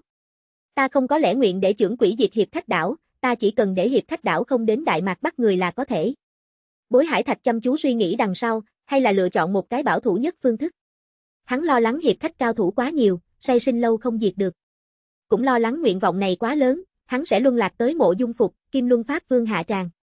Bởi vậy càng nghĩ, chỉ yêu cầu đối phương đừng tới tai họa bọn hắn đại mạc là có thể. A. nghe vậy, đen trắng song kiếm hơi sững sờ, bọn hắn căn bản không có nghĩ đến bối hải thạch nguyện vọng đã vậy còn quá nhỏ. Phải biết đối phương thế nhưng là giả tâm bừng bừng. Cơ hội tốt như vậy, vậy mà không nắm chắc được. Nếu như có thể giải quyết hiệp khách đảo tại Đại Mạc là tai họa, cái này bối hải thạch cũng coi như không thể bỏ qua công lao. Thạch thanh ý niệm trong lòng bách chuyển. Nguyên bản hắn là muốn trả thù đối phương, bởi vì hắn lấy chính mình nhi tử làm kẻ chết thay. Nhưng là hôm nay bối hải thạch cách làm, để hắn lau mắt mà nhìn. Tất cả mọi người đang nhìn Trần Phàm, muốn nhìn một chút bối hải thạch nguyện vọng Trần Phàm có thể đáp ứng hay không. Bọn này bên trong khẩn trương nhất chính là bối hải thạch. Hắn lần này nguyện vọng quan hệ đến hắn có thể hay không thống nhất toàn bộ Đại Mạc. Để hiệp khách đảo không đang quản các ngươi Đại Mạc đúng không? Có thể, chuyện nhỏ. Trần Phàm lúc này gật đầu. Theo hắn giải tỏa hệ thống nhân vật càng nhiều, mà lại thực lực bản thân cũng biến thành rất mạnh. Đây đối với dạng này khách nhân nguyện vọng, không cần dựa vào hệ thống, Trần Phàm đều có thể hoàn thành. Nếu như trưởng quỹ có cần, chúng ta trường lạc bang có thể tùy ý do ngươi điều khiển. Bối Hải Thạch kích động nói ra. Trưởng quỹ, nếu có cần, chúng ta huyền tố Sơn Trang tùy ý ngươi phân công. Chúng ta phái Tuyết Sơn cũng nguyện ý nghe ngươi chỉ huy. Ngay sau đó, mấy cái này thế lực cũng đi theo tỏ thái độ. Bọn hắn cũng hy vọng hiệp khách đảo không xuất hiện tại Đại Mạc. Hảo ý của các ngươi ta xin tâm lĩnh, bất quá, các ngươi quá yếu. Trần Phàm gật đầu cười, sau đó đi hướng hậu viện. Mấy người bọn họ nghe thấy Trần Phàm lời nói sau, không có sinh khí, ngược lại nở nụ cười. Trần Phàm càng tự tin càng tốt, cái này đại biểu cho say sinh lâu căn bản không sợ hiệp khách đảo. Ngươi nói trưởng quỹ xử lý như thế nào chuyện này? Là cùng bọn hắn đàm phán sao? Hẳn không phải là, dựa theo ta đối trưởng quỹ hiểu rõ, Trần Phàm trưởng quỹ phi thường ngại phiền phức, đoán chừng mang theo kiếm tiên tiền bối trực tiếp đánh tới, đánh cho hiệp khách đảo đáp ứng. Không ít người giang hồ cũng đang thảo luận Trần Phàm xử lý như thế nào chuyện này. Hiệp khách đảo cũng rất thần bí. 30 năm trước, người ta chỉ phái ra hai cái 12-13 tuổi hài tử, liền đem toàn bộ đại mạc cao thủ quét ngang. Loại thế lực này, tuyệt đối không đơn giản. Chưởng quỷ, muốn đánh nhau sao? Các loại Trần Phàm đến hậu viện, Lý Hàng Y, Kiếm Thánh, Tử Kiếm Tiên đã chờ đợi ở đây. Rất hiển nhiên, bọn hắn cũng nghe đến người giang hồ nghị luận, biết hiệp khách đảo chính là một cái cắt rau hẹ thế lực. Cách mỗi 10 năm liền đi ra thu hoạch một đám người đầu, bởi vậy mấy người đằng đằng sát khí. Không cần như vậy cừu hận bọn hắn. Hiệp khách đảo người, cũng không phải thật sự là người xấu. Trần Phàm nhìn xem mấy người, giải thích nói. Không hỏng, nghe vậy, kiếm thánh hơi sững sờ. Hắn còn tưởng rằng hiệp khách đảo là một cái thế lực tà ác. Đi thôi, đi qua các ngươi liền biết. Mà lại, Hiệp khách đảo bên trên ghi chép một môn võ học, ta muốn sẽ đối với mọi người có chỗ trợ giúp. Nghe vậy, mấy người nhãn tình sáng lên. Nếu là lần này từ những người khác trong miệng nói ra, bọn hắn đương nhiên sẽ không để ý. Nhưng là, là từ Trần Phàm trong miệng nói ra. Như vậy môn võ học kia, rất có thể đối bọn hắn có chỗ trợ giúp. Đi. Trần Phàm nhẹ gật đầu, liền mở ra cánh cửa thần kỳ. Ngay sau đó, mấy người biến mất không thấy gì nữa. Hiệp khách đảo. Tứ phía đều là biển cả, chân chính mặt hướng biển cả, xuân về hoa nở. Mặc dù khoảng cách ngày mùng 8 tháng chạp tháng còn cách một đoạn, nhưng là, nơi này đã bắt đầu chuẩn bị cháo mùng 8 tháng chạp. Một đám đệ tử bình thường, đang cố gắng chế biến cháo mùng 8 tháng chạp. Nơi đó vì cái gì như thế sáng, đột nhiên, có đệ tử kinh hô lên. Rất nhanh tất cả mọi người buông xuống trong tay sự tình, lập tức vây lại. Bọn hắn rất tự tin, trông thấy một màn này đằng sau, cũng không có sợ sệt. Bởi vì những người này thực lực đều rất mạnh. Giống như không thích hợp, nhanh đi xin mời đảo chủ, trong đám người, có cơ linh đệ tử mở miệng nói. Không thể không nói, đám hài tử này thực lực thật rất mạnh. Vậy mà thấp nhất đều là đại tông sư cảnh giới. Theo thời gian trôi qua, trước mặt không gian quang mang càng lúc càng lớn, cuối cùng hình thành một đạo cửa lớn. Chưởng quỷ, quả nhiên cùng ngươi nói một dạng, người nơi này thiên phú không tồi. Kiếm Thánh đi ra cánh cửa thần kỳ, cảm giác được phía dưới đám hài tử này khí tức, trên mặt hắn tràn ngập vẻ kinh ngạc. Yếu nhất đều là đại tông sư cảnh giới, mà lại có không ít tiên thiên cường giả. Những cao thủ này nếu như thả ra, nhất định quét ngang toàn bộ giang hồ. Chưởng quỷ nói Thái Huyền trải qua, sợ là rất bất phàm a. Cho dù là tử kiếm tiên, lúc này trong mắt cũng tràn đầy chờ mong. Căn cứ Trần Phàm nói tới, những người này đều là đem công pháp luyện sai tình huống dưới đến thực lực như vậy. Nếu như không có luyện sai, đến mạnh bao nhiêu? Phương nào cường giả giáng lâm nơi đây? Cùng lúc đó, một đạo khí tức kéo dài thanh âm vang lên. Ngay sau đó, hai đạo nhân ảnh từ phía sau bay tới. Thực lực thật là khủng khiếp. Long một nhị đảo chủ nhìn xem Trần Phàm bọn người, tê cả da đầu. Phía trước bốn người, một cái đều nhìn không thấu. Bọn hắn đứng tại bốn người trước mặt, cảm giác vô cùng nhỏ bé. Trên giang hồ lúc nào xuất hiện cao thủ như vậy? Trong lòng hai người khiếp sợ không thôi. Tự giới thiệu mình một chút, Vĩ nhân say sinh lâu trưởng quỷ Trần Phàm, gặp qua hai vị đảo chủ. Say sinh lâu. Nghe vậy, hai vị đảo chủ con ngươi đột nhiên rụt lại. Rất hiển nhiên bọn hắn cũng biết say sinh lâu. Kỳ thật, hiệp khách đảo cũng không có cùng thế ngăn cách. Bọn hắn tại cửu châu bên trong, cũng có mạng lưới tình báo của mình. Không phải vậy căn bản không có khả năng tinh chuẩn tìm tới những ác nhân kia. Gần nhất người giang hồ truyền đi xôn xao say sinh lâu, bọn hắn tự nhiên nghe nói qua. Nguyên lai là Trần Phàm trưởng quỷ, kính đã lâu kính đã lâu, hai vị đảo chủ sau khi khiếp sợ, lập tức chắp tay nói. Không biết trưởng quỷ đột nhiên giáng lâm hiệp khách đảo, cần làm chuyện gì? Hai vị đảo chủ lúc này thần sắc cực kỳ ngưng trọng. Bọn hắn đã đoán được, rất có thể là có người thành công khiêu chiến say sinh mộng, mới mời đến say sinh lâu người tới bọn hắn hiệp khách đảo. Mà lại bọn hắn trên giang hồ thanh danh cũng không tốt, rất có thể là để say sinh lâu người diệt bọn hắn. Các ngươi không cần khẩn trương như vậy. Trần Phàm trông thấy hai người biểu lộ, vừa cười vừa nói. Ta lần này tới, là vì hoàn thành bối hải thạch nguyện vọng. Từ giờ trở đi, các ngươi về sau không cần tại Đại Mạc phát tốt phạt làm cho. Nghe vậy, hai vị đảo chủ hơi nhướng mày, bọn hắn sở dĩ xuất hiện tại Đại Mạc, kỳ thật còn có một mục đích khác. Ta biết mục đích của các ngươi là cái gì, các ngươi là muốn để cho người ta giải khai Thái Huyền trải qua bí mật. Vừa lúc chúng ta say sinh lâu biết bí mật này. Làm trao đổi, bí mật giải khai đằng sau, các ngươi không nên xuất hiện tại Đại Mạc. Ta nói rõ sao? Trần Phàm nhìn xem hai vị đảo chủ, thần sắc bình tĩnh đạo. Nghe vậy, hai vị đảo chủ hô hấp trở nên dồn dập lên. Trong truyền thuyết vô cùng thần bí Trần Phàm, vậy mà biết bọn hắn Thái Huyền trải qua bí mật. Nếu như trưởng quỷ thật có thể giải khai bí mật, vậy ta đáp ứng ngươi, từ đó về sau, chúng ta sẽ không đi Đại Mạc bắt người. Long đảo chủ thần sắc chăm chú trả lời. Trong lòng hai người đại hỷ, bởi vì bọn hắn dạy bảo đệ tử, sau đó đi trên giang hồ bắt người, mục đích chính là giải khai Thái Huyền trải qua chi mê. Chương 138, thần bí Thái Huyền Kinh Trần Phàm quay về. Còn xin hai vị dẫn đường. Trần Phàm tự nhiên biết trong lòng đối phương chấp niệm, bởi vậy, tùy tiện nắm đối phương. Rất nhanh, hiệp khách đảo đệ nhau nhau tụ tới. Tại Trần Phàm chỉ đạo bên dưới, mấy người bọn họ bắt đầu lĩnh hội Thái Huyền trải qua. Say sinh lâu. Mọi người coi là Trần Phàm lần này giống như trước đây, không được bao lâu liền trở lại. Nhưng là, theo thời gian trôi qua, vẫn không có nhìn thấy Trần Phàm thân ảnh. Làm sao lại lâu như vậy a? Không biết, ta suy đoán sợ là cùng hiệp khách đảo đánh lên. Hiệp khách đảo thật có mạnh như vậy sao? Say sinh lâu thế nhưng là có tử kiếm tiên ai? Ta có cảm giác, lần này sợ là có biến. Trần Phàm chậm chạp không có về, rất nhiều người bắt đầu nghị luận lên. Thậm chí có người suy đoán Trần Phàm lần này lật thuyền trong mương, lúc này sợ bị vây ở hiệp khách đảo. Bởi vì chưa từng có xuất hiện qua lâu như vậy, vẫn chưa về tình huống.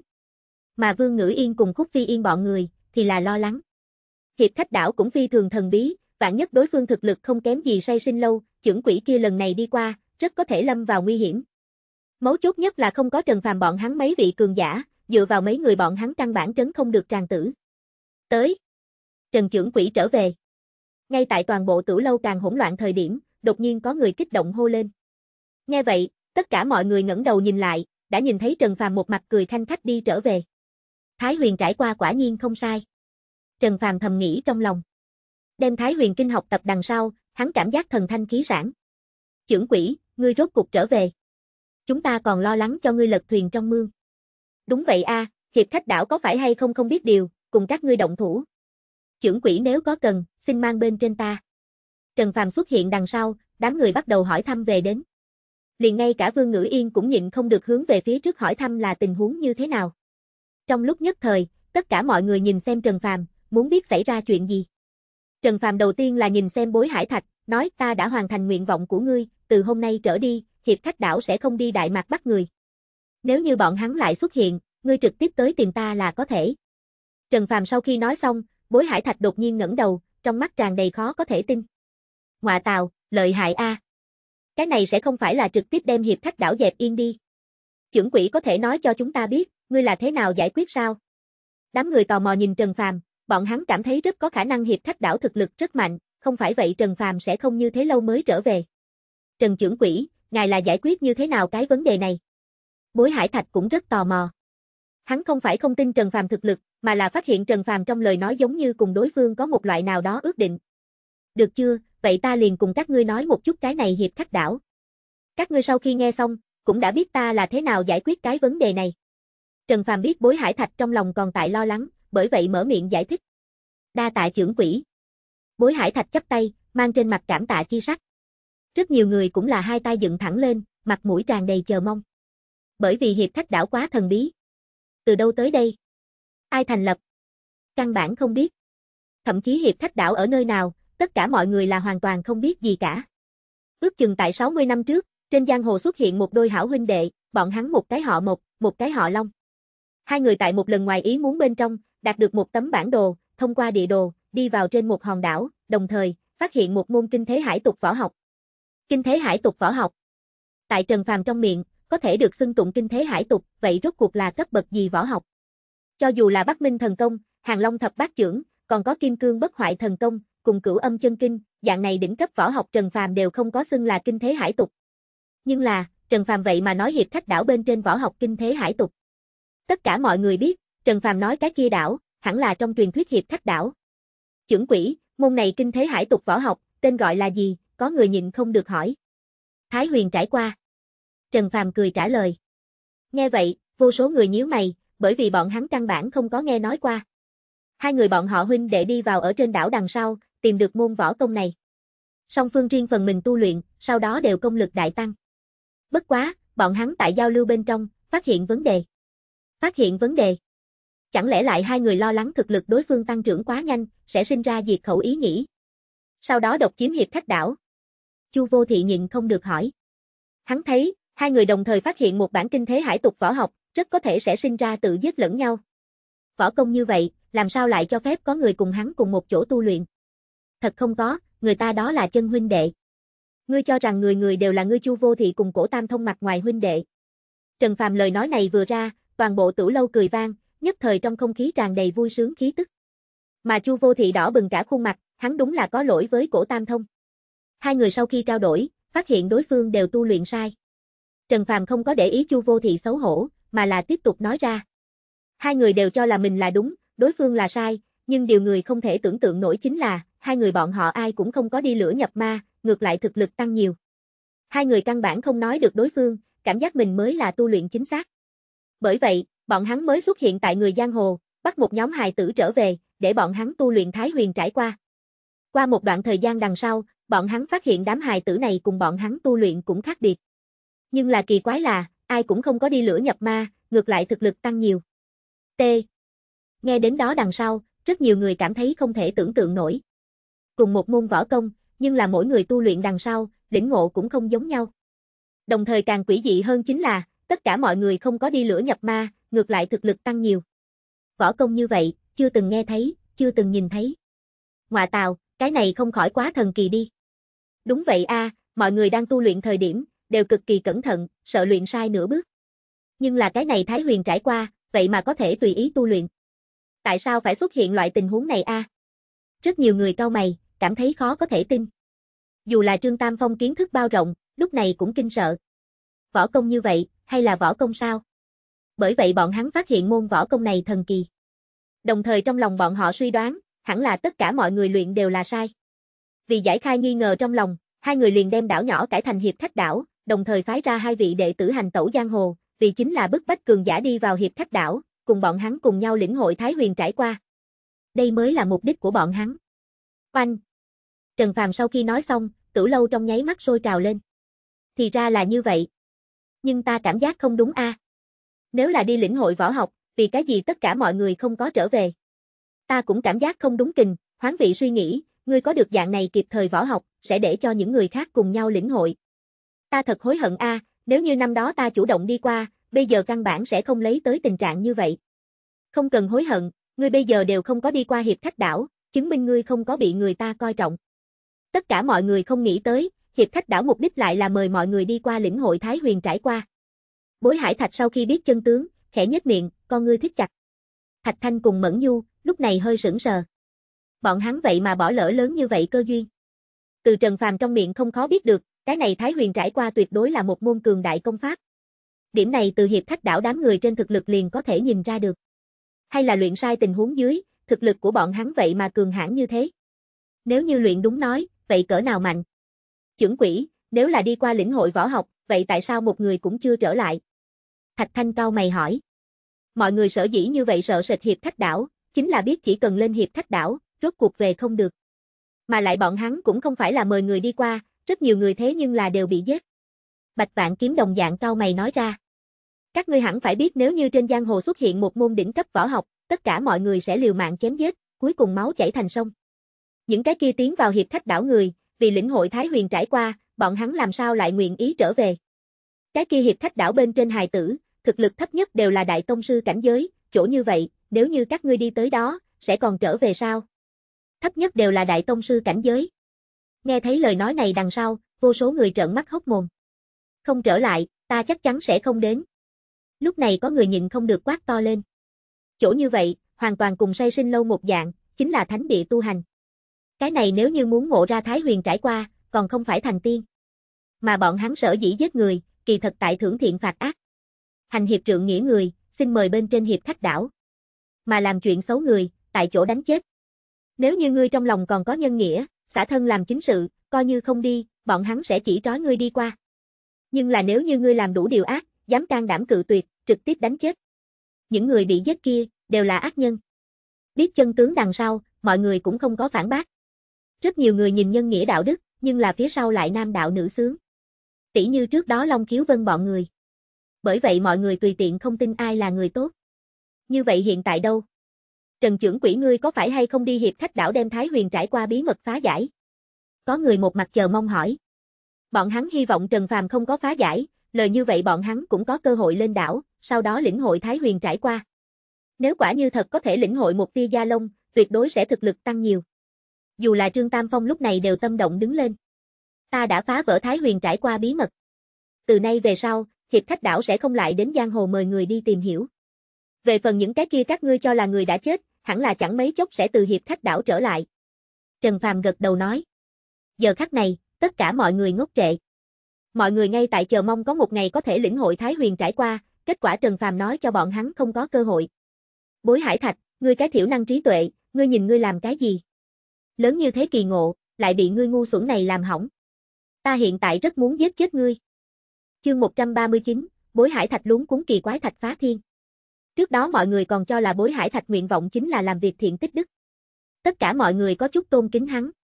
Nhưng là, hắn hiện tại biến thành người người giận mắng đối tượng. Kinh thiên kỳ ngộ, lại bị gia hỏa này nguyện vọng hủy đi.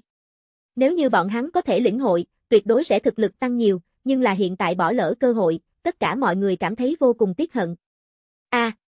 Bối hải thạch cũng là trong lòng đang rỉ máu, chính hắn đều muốn tác mình một cái. Hắn nghĩ hết biện pháp tránh né tầm mắt của đối phương, thậm chí tại thạch phá thiên trên thân động tay chân. Vì không muốn lên hiệp khách đảo, hắn một mực không dám trở thành vui vẻ lâu dài ban ban chủ. Nhưng là làm sao biết hiệp khách đảo bên trên lại có lớn như thế vừa ra cơ duyên. Hắn mặc dù giả tâm rất lớn, nhưng là, cùng tranh quyền đoạt lợi so sánh, hắn càng ưa thích chính là thực lực tăng lên. Thậm chí hắn coi là bằng vào trí tuệ của mình, rất có thể phá vỡ Thái Huyền trải qua bí mật. Hiện tại hết thảy đều bỏ qua. Suy nghĩ một chút liền cảm thấy vô cùng hối hận, người ta trên đảo đệ tử thấp nhất là đại tông sư cảnh giới.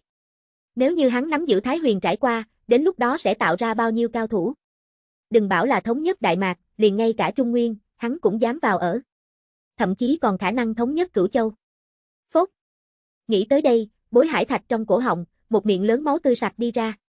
Hắn hiện tại cực kỳ hối hận. Vốn là một trận tai họa, chờ mình hoàn thành nguyện vọng này đằng sau, sẽ trở thành đại anh hùng, đến lúc đó vung cánh tay hô lên, vô số người đến đây đầu nhập vào. Nhưng không nghĩ tới, hắn vậy mà làm một kiện chuyện ngu xuẩn. Đoán chừng trên giang hồ về sau có người nâng lên hắn bối hải thạch, đều sợ là muốn mắng hắn thiểu năng trí tuệ. Lấy sức một mình, hủy mọi người lĩnh hội Thái Huyền trải qua cơ hội. Phải biết, người giang hồ rất nhiều đều là lòng dạ hẹp hòi. Xảy ra đại sự. Không chỉ là bối hải thạch cảm thấy lo lắng, liền ngay cả thạch thanh vợ chồng, đều cảm giác đại mạc muốn loạn. Đoạn người máy gặp, như giết người phụ mẫu. Nhiều cao thủ như vậy từ hiệp khách đảo trở lại, sẽ nghĩ như thế nào?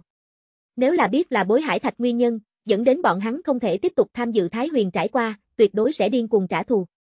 Bối hải thạch, dời lên tảng đá nện chân của mình. Gia hỏa này, sợ là phải xong đời.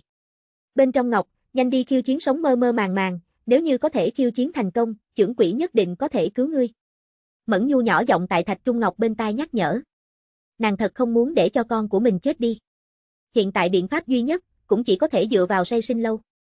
Nghe vậy, Thạch Trung Ngọc nhãn tình sáng lên, lúc này hướng Trần Phàm vị trí đi đến. Gặp. Bạch Vạn Kiếm trông thấy Thạch Trung Ngọc động tác, liền hiểu đối phương tính toán. Bất quá hắn căn bản không dám ngăn cản. Mẫn Nhu. Bạch Vạn Kiếm nghiến răng nghiến lợi. Giờ khắc này, hắn đối với đối phương trong lòng hảo cảm hoàn toàn biến mất.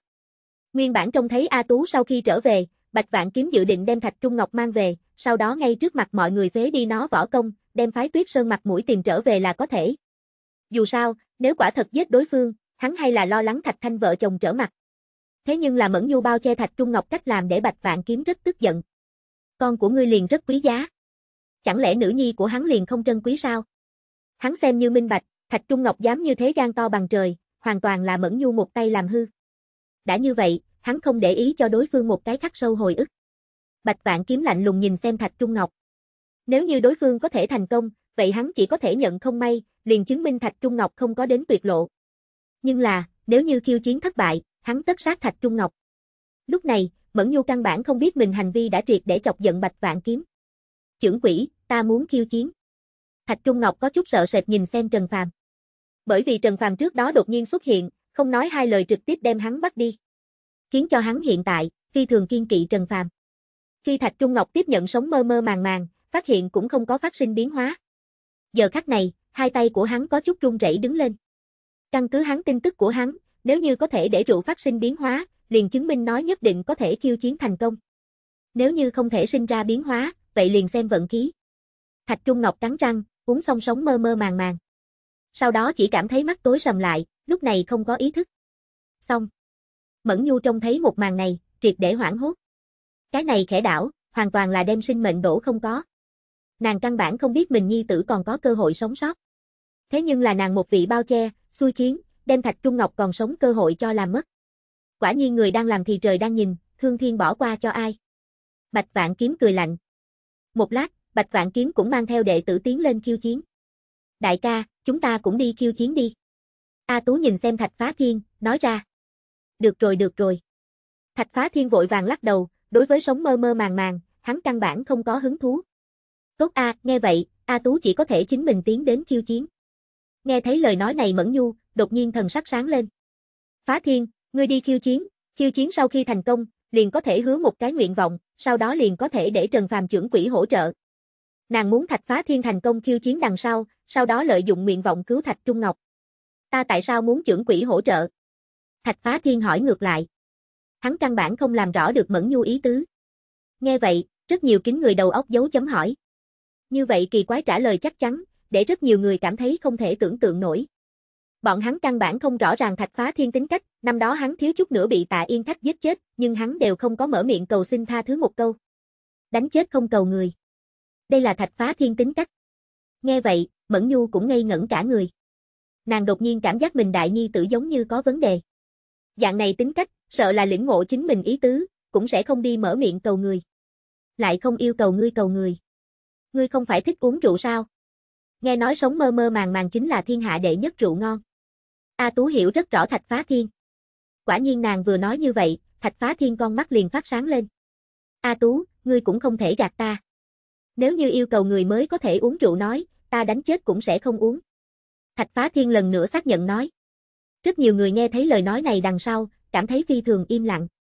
Thạch Phá Thiên nói hình như chính mình thật sự có thể khiêu chiến thành công một dạng. Bọn hắn rất nhiều người liều mạng khiêu chiến, chính là vì một cái nguyện vọng. Gia hỏa này ngược lại tốt, cảm thấy nguyện vọng kia đã vậy còn quá không chịu nổi. Gia hỏa này đầu óc có vấn đề. Đây là đám người đối với Thạch Phá Thiên cách nhìn. Rất nhiều người nhìn xem Thạch Thanh vợ chồng, trong mắt xuất hiện một vòng đồng tình. Đại danh đỉnh đỉnh đen trắng song kiếm, mặc dù có được hai đứa con trai, nhưng là đại nhi tử trí thông minh có vấn đề, tiểu nhi tử lập tức liền muốn chết đi. Đáng tiếc. Trần Phàm trước mặt, phái Tuyết Sơn đệ tử không ngừng ngã xuống, rất nhanh chỉ còn lại có Sử Tiểu Thúy cùng A Tú. Liền ngay cả Bạch Vạn Kiếm, cũng là một chén liền ngã. Trông thấy một màn này, Thạch Phá Thiên nao nao. Bạch Vạn Kiếm cường giả như vậy, vậy mà một chén liền ngã. Cái này khiến hắn sinh ra nồng hậu dày đặc hiếu kỳ, cái này sống mơ mơ màng màng đến tột cùng là cái gì? A Tú, để cho ta tới trước thử một chút. Thạch Phá Thiên tiến lên, dự định trước thử một chút sống mơ mơ màng màng. Nghe vậy, Sử Tiểu Thúy cùng A Tú nhẹ gật đầu. Nhìn xem gia hỏa này đến cùng được hay không. Có gì đáng xem, loại lăng đầu thanh này, làm sao lại khiêu chiến thành công. Đối với Thạch Phá Thiên, mọi người là rất không coi trọng. Bởi vì người này trí thông minh có vấn đề. Nhưng mà, khi Thạch Phá Thiên tiếp xúc đến sống mơ mơ màng màng trong nháy mắt, rượu trong ly cũng liền phát sinh biến hóa. Một đoàn kịch liệt quang mang chợt hiện. Ngay sau đó, chén rượu phía trên, tạo thành một vùng biển rộng kỳ cảnh. Trên biển lớn, bích hải triều sinh, cuồn cuộn thủy triều ầm ầm rung động. Sóng lớn khổng lồ âm thanh, trong nháy mắt làm cho cả tử lâu oanh động lên. Ngoạ tàu vậy mà sinh ra biến hóa. Đây là thạch phá thiên không đơn giản a. Vậy mà gây nên sóng mơ mơ màng màng biến hóa. Khá lắm, người này cực kỳ bất phàm, ngày sau thiên hạ sợ là có một chỗ của hắn. Vô số người giang hồ nhìn xem thạch phá thiên trước mặt kỳ cảnh, trong mắt tràn đầy khó có thể tin. Cảnh tượng như vậy quá dọa người, so với lúc trước Trương Tam Phong thật ý tưởng trận thế còn muốn lớn. Tiểu tử ngốc này, triển hiện ra kỳ cảnh, vậy mà như thế khí thế bàn bạc. Sử tiểu thúy nhìn xem một màn này, cũng cảm thấy cực kỳ rung động. Nàng coi là Thạch Phá Thiên là một cái bổn đồ đệ, nhưng là không nghĩ tới đã vậy còn quá đặc thù. A Tú trông thấy một màn này, từ đáy lòng nở nụ cười. Đây là con của ta. Thạch Thanh vợ chồng lúc này trợn mắt hốc mồm. Bọn hắn không nghĩ tới nhìn trí thông minh có vấn đề nhi tử, vậy mà như thế bất phàm. Bọn hắn rất rõ ràng, có thể gây nên sống mơ mơ màng màng biến hóa, chứng minh tiềm lực vô tận. Mà lại biến hóa càng đặc thù, liền chứng minh càng bất phàm. Nhìn Thạch Phá Thiên hiện tại cảnh tượng, tương lai tuyệt đối đều có thể. Nhìn quả thật không tệ. Thạch Phá Thiên nói thầm một tiếng, sau đó ngửa đầu uống xong. Uống xong trong nháy mắt, hắn cảm giác mồm miệng lưu hương, một cổ khó mà ngôn ngữ cảm giác bay thẳng thiên linh. Hắn phản phất cảm giác linh hồn đã xuất khiếu. Toàn thân lỗ chân lông đều mở ra, cả người cực kỳ thư sướng. Rượu ngon a. A Tú, ngươi không có gạt ta, cái này sống mơ mơ màng màng, đúng là thiên hạ đệ nhất rượu ngon. Chén thứ hai sau khi uống xong, Thạch Phá Thiên tiếp tục dư vị. Sau đó uống đến chén thứ ba. Quá ít, đại ca còn có rượu sao? Ta còn muốn uống. Lúc này Thạch Phá Thiên, trên mặt có vẻ vẫn còn thèm thuồng. Ba chén xuống dưới đằng sau, hắn cũng không có say ngã. Không có ý tứ, chỉ có thể uống ba chén. Nếu như ngươi còn muốn tiếp tục khiêu chiến, cần xuất ra để cho ta động tâm đồ vật mới có thể. Trần Phàm lắc đầu.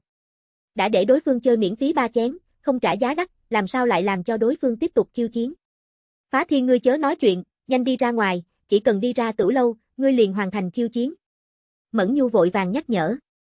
Đúng vậy a, đại ca, ngươi nhanh hướng mặt ngoài đi. A Tú cũng gấp nhắc nhở Thạch Phá Thiên. Nghe vậy, Thạch Phá Thiên hỏi ngược lại, ta tại sao muốn hướng mặt ngoài đi? Lời này vừa nói ra, vô số người trong đầu xuất hiện dấu chấm hỏi. Đại ca, thứ gì mới có thể để ngươi tâm động? Thạch Phá Thiên không có để ý đám người, mà là cùng Trần Phàm tiếp tục câu thông đạo. hắn hiện tại chỉ muốn tiếp tục cuốn sống mơ mơ màng màng, mặt khác, căn bản không quan tâm.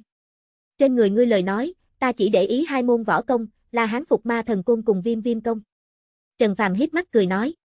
Thạch phá thiên phía sau rất khủng bố, mặc dù có yếu tố vận khí ở bên trong, nhưng là, cũng cùng cái này hai môn thần công cùng một nhịp thở. Chương 140, kinh khủng sống mơ mơ màng màng yến thập tam đến. Đây là công pháp gì, ta làm sao chưa nghe nói qua. Ngoạ tào, lại là la hán phục ma thần côn. Nghe nói môn thần công này chỉ có đạt ma tổ sư luyện thành qua. Thật hay giả, cái này chẳng phải là nói thiếu niên này rất khủng bố. Trần Phàm vừa nói, đám người trợn mắt hốc mồm. Cái này nhìn đầu óc có vấn đề thiếu niên, vậy mà đã luyện thành dạng này thần công. Phải biết lúc trước La Hán Phục Ma Công cũng rơi xuống bối hải thạch trong tay, nhưng là rất đáng tiếc, hắn căn bản không dám tu luyện. Hắn có tự mình hiểu lấy, biết môn công pháp này căn bản luyện sẽ không. Không ít cùng Thiếu Lâm tự có liên quan người giang hồ nhìn xem Thạch Phá Thiên, thần sắc chấn động không gì sánh nổi.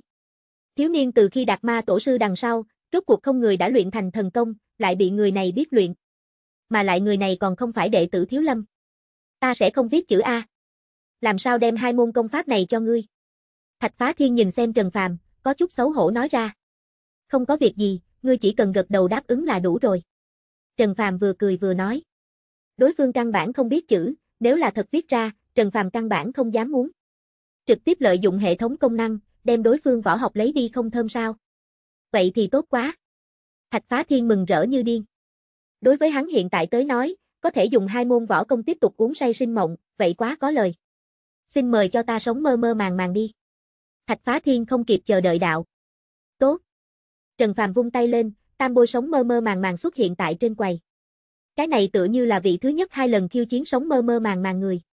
Giờ khắc này, vô số người giang hồ vẽ mặt nghiêm túc đứng lên. Bởi vì Trần Phàm trước đó nói qua, muốn khiêu chiến sống mơ mơ màng màng lần thứ hai, độ khó cực lớn. Hơn nữa còn muốn cung cấp làm cho Trần Phàm động tâm vật phẩm mới được. Bởi vậy, cho đến trước mắt, còn không có người giang hồ tiến hành lần thứ hai khiêu chiến. Lần thứ hai khiêu chiến sống mơ mơ màng màng, cùng lần thứ nhất khiêu chiến khác nhau ở chỗ nào? Rất nhiều người nhìn kỹ thạch phá thiên. Chỉ gặp lần thứ hai sống mơ mơ màng màng, quả nhiên cùng lần thứ nhất khác biệt. Lần này rượu, căn bản không có đụng vào, liền phát sinh biến hóa. Lóe lên ánh sáng nhạt, tại trong tử dịch lấp lóe. Lúc này rượu, kỳ thật đã không tính là rượu. Quỳnh tương ngọc dịch, xanh biết một mảnh. Vừa mới xuất hiện đằng sau, nồng đậm mùi rượu nhào tới trước mặt. Có không ít thực lực yếu ớt người ngửi được mùi rượu này, trong nháy mắt ngã xuống. Mọi người nhanh ngừng thở, có người lớn tiếng nhắc nhở. Mặc dù những người giang hồ này phản ứng rất nhanh, nhưng là vừa mới chí ít có hơn trăm người say ngã. Một màn này tạo thành chấn động to lớn. Bọn hắn không nghĩ tới vẻn vẹn mùi rượu, liền có nhiều người như vậy gánh không được. Thế gian rượu ngon a. Thạch Phá Thiên nhìn xem trước mặt sống mơ mơ màng màng, kích động toàn thân run rẩy lên. Tại tất cả mọi người nhìn chăm chú phía dưới, Thạch Phá Thiên đưa tay phải ra, chạm đến chén thứ hai sống mơ mơ màng màng. Bọn hắn rất ngạc nhiên Thạch Phá Thiên có thể hay không gây nên sống mơ mơ màng màng lần thứ hai biến hóa. Nhưng rất nhanh, trên mặt của mọi người tràn đầy vẻ thất vọng. Không có sinh ra biến hóa. Đương nhiên chỉ là những người giang hồ này thất vọng, nhưng mà người khiêu chiến Thạch Phá Thiên, căn bản không có bất luận cái gì thất vọng chi ý. Kỳ thật đối với Thạch Phá Thiên tới nói, hắn căn bản không phải tại khiêu chiến, mà là nếm thử cửu châu uống ngon nhất rượu mà thôi. Bởi vì hắn chưa từng có nghĩ tới dựa vào nguyện vọng hoàn thành dục vọng của mình. Mà lại nhân sinh của hắn cách ngôn là, vạn sự không bằng cầu chính mình. Rượu không có bất kỳ biến hóa nào, Thạch Phá Thiên không sợ hãi không thích. Cùng lúc trước một dạng, bưng chén rượu lên, uống xong sống mơ mơ màng màng. Chỉ bất quá, lại đi sau khi uống xong, đột nhiên phát hiện thân thể của hắn trở nên đỏ bừng, tựa như đun sôi tôm bự. Mặc dù hắn điên cuồng vận chuyển nội lực trong cơ thể, nhưng vẫn là không ngăn cản được tử kình. Thật mạnh. Uống xong một chén đằng sau, Thạch Phá Thiên đỏ bừng cả khuôn mặt đạo. Nhưng mà, coi như hắn chuẩn bị uống xong chén thứ hai sống mơ mơ màng màng thời điểm, chỉ cảm thấy mắt tối sầm lại, cả người như là một đám đống bùn nhão ngã xuống.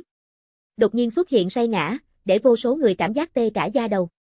Thạch Phá Thiên năng lực mạnh bao nhiêu, tất cả mọi người nhìn ở trong mắt.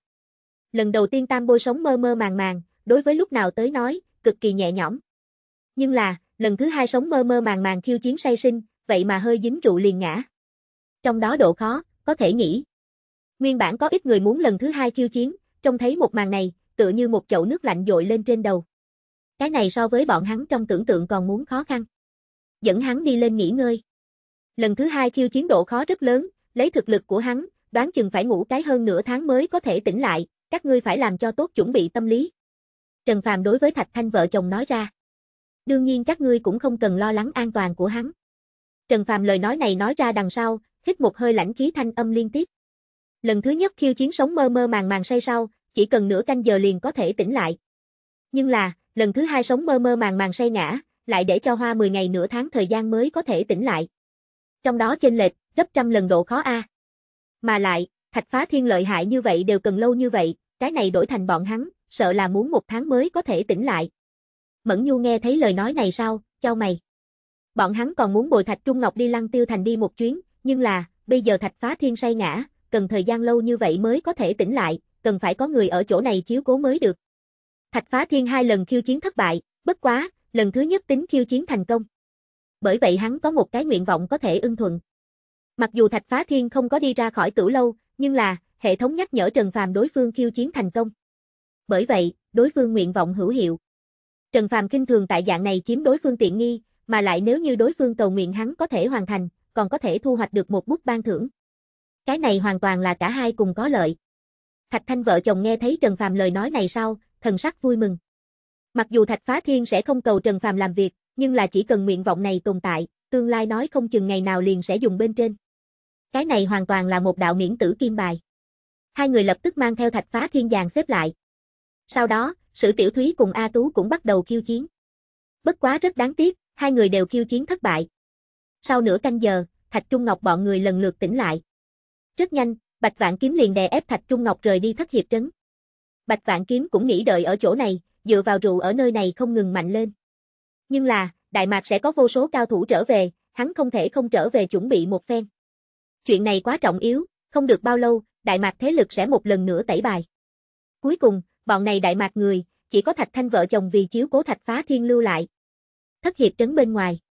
Một vị áo choàng che đậy chỉ lộ ra hai mắt nam tử xuất hiện. Người này hốc mắt chung quanh hiện đầy gai màu đen xanh, tà mị khí tức làm cho người không rét mà run. Trông thấy người này, rất nhiều người theo bản năng rời xa hắn. Bởi vì trên người đối phương thường xuyên tản mát ra một cổ khí tức âm hàn. Say sinh lâu, tử kiếm tiên. Ta Yến Thập Tam cố ý đến đây thỉnh giáo, hy vọng đừng để ta thất vọng a. Người này, chính là biết say sinh lâu có cao thủ tuyệt thế tử kiếm tiên, cố ý đến đây khiêu chiến Yến Thập Tam. Yến Thập Tam, một cái là kiếm đạo điên dại nam nhân. Tập luyện truyền thống võ học đoạt mệnh kiếm pháp, là đương đại hạng nhất kiếm khách. Cuộc đời nguyện vọng là cùng trong kiếm đế vương Tạ Hiểu Phong phân cao thấp. Đi vào thất hiệp trấn đằng sau, Yến Thập Tam chiến ý rốt cuộc khống chế không nổi, bắt đầu không chút kiên kỵ bạo phát đi ra. Kinh khủng kiếm ý, trong nháy mắt để người chung quanh ngửa ngựa lật. Từ đâu tới cuồng đồ. Những người này nhìn xem Yến Thập Tam, thần sắc kinh hãi đồng thời, cũng cảm thấy đối phương càng rỡ, cũng dám ở chỗ này nháo sự. Đối với những người giang hồ này bất mãn, Yến Thập Tam không nhìn thẳng. Hắn cứ như vậy từng bước một đi lên phía trước, đem toàn thân khí thế điều đến tối đỉnh phong. Chờ đến đến say sinh cửa lầu, hắn lúc này tinh khí thần toàn bộ ở vào đỉnh phong nhất. Ở xung quanh hắn, kiếm ý giống như thủy triều dân trào, lực lượng vô hình hội tụ thành một thanh thần kiếm, treo ở đỉnh đầu. Rất nhiều người trong nháy mắt bị hấp dẫn, nhao nhao núp ở phía xa quan sát. Bỉ nhân Yến Thập Tam, cả đời si mê với kiếm, muốn truy cầu kiếm đạo đỉnh phong. Từng nghe nói say sinh lâu có đương đại tử kiếm tiên, một tay kiếm pháp như tiên pháp, hôm nay chuyên tới để khiêu chiến. Bá.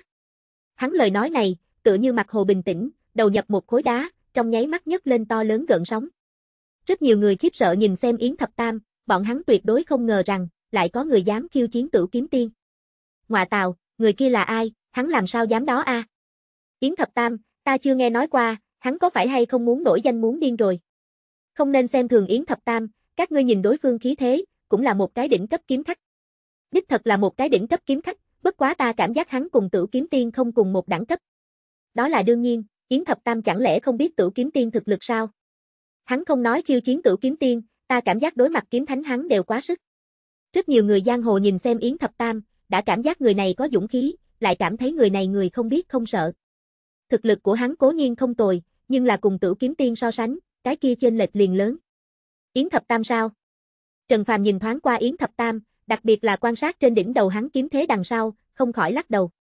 Hiện tại mới đoạt mệnh 14 kiếm, dù là lĩnh ngộ kiếm thứ 15, y nguyên cùng tử kiếm tiên không phải cùng một cái trình độ. Trần Phàm lúc này cũng có chút kinh ngạc. Đây là có người lần đầu tiên tới nơi này khiêu chiến dưới tay hắn cao thủ. Lúc này rất nhiều người đều cho là tử kiếm tiên sẽ không để ý tới Yến Thập Tam. Nhưng là, sau một khắc, đám người cảm giác ánh mắt hoa lên, Tử kiếm tiên liền xuất hiện tại kiếm thập tam trước mặt. Mà lại cả người ngự kiếm đình trệ trên không trung. Trông thấy một màn này, vô số người cảm thấy buồn cười. Tử kiếm tiên ngự kiếm lăng không nhìn xuống Yến thập tam, tựa như một người lớn khi dễ một đứa bé. Thiên phú cũng không tệ lắm. Còn có tiềm lực có thể đào móc, ngươi bây giờ luyện đến bao nhiêu kiếm?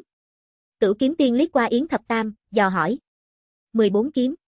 Yến thập tam cao mày nói.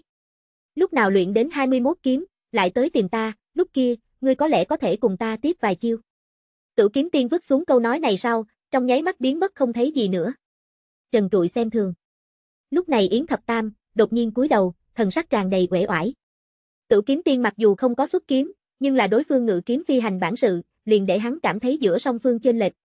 Hơn nữa còn muốn lĩnh ngộ đến 21 kiếm, mới có tư cách cùng đối phương giao thủ.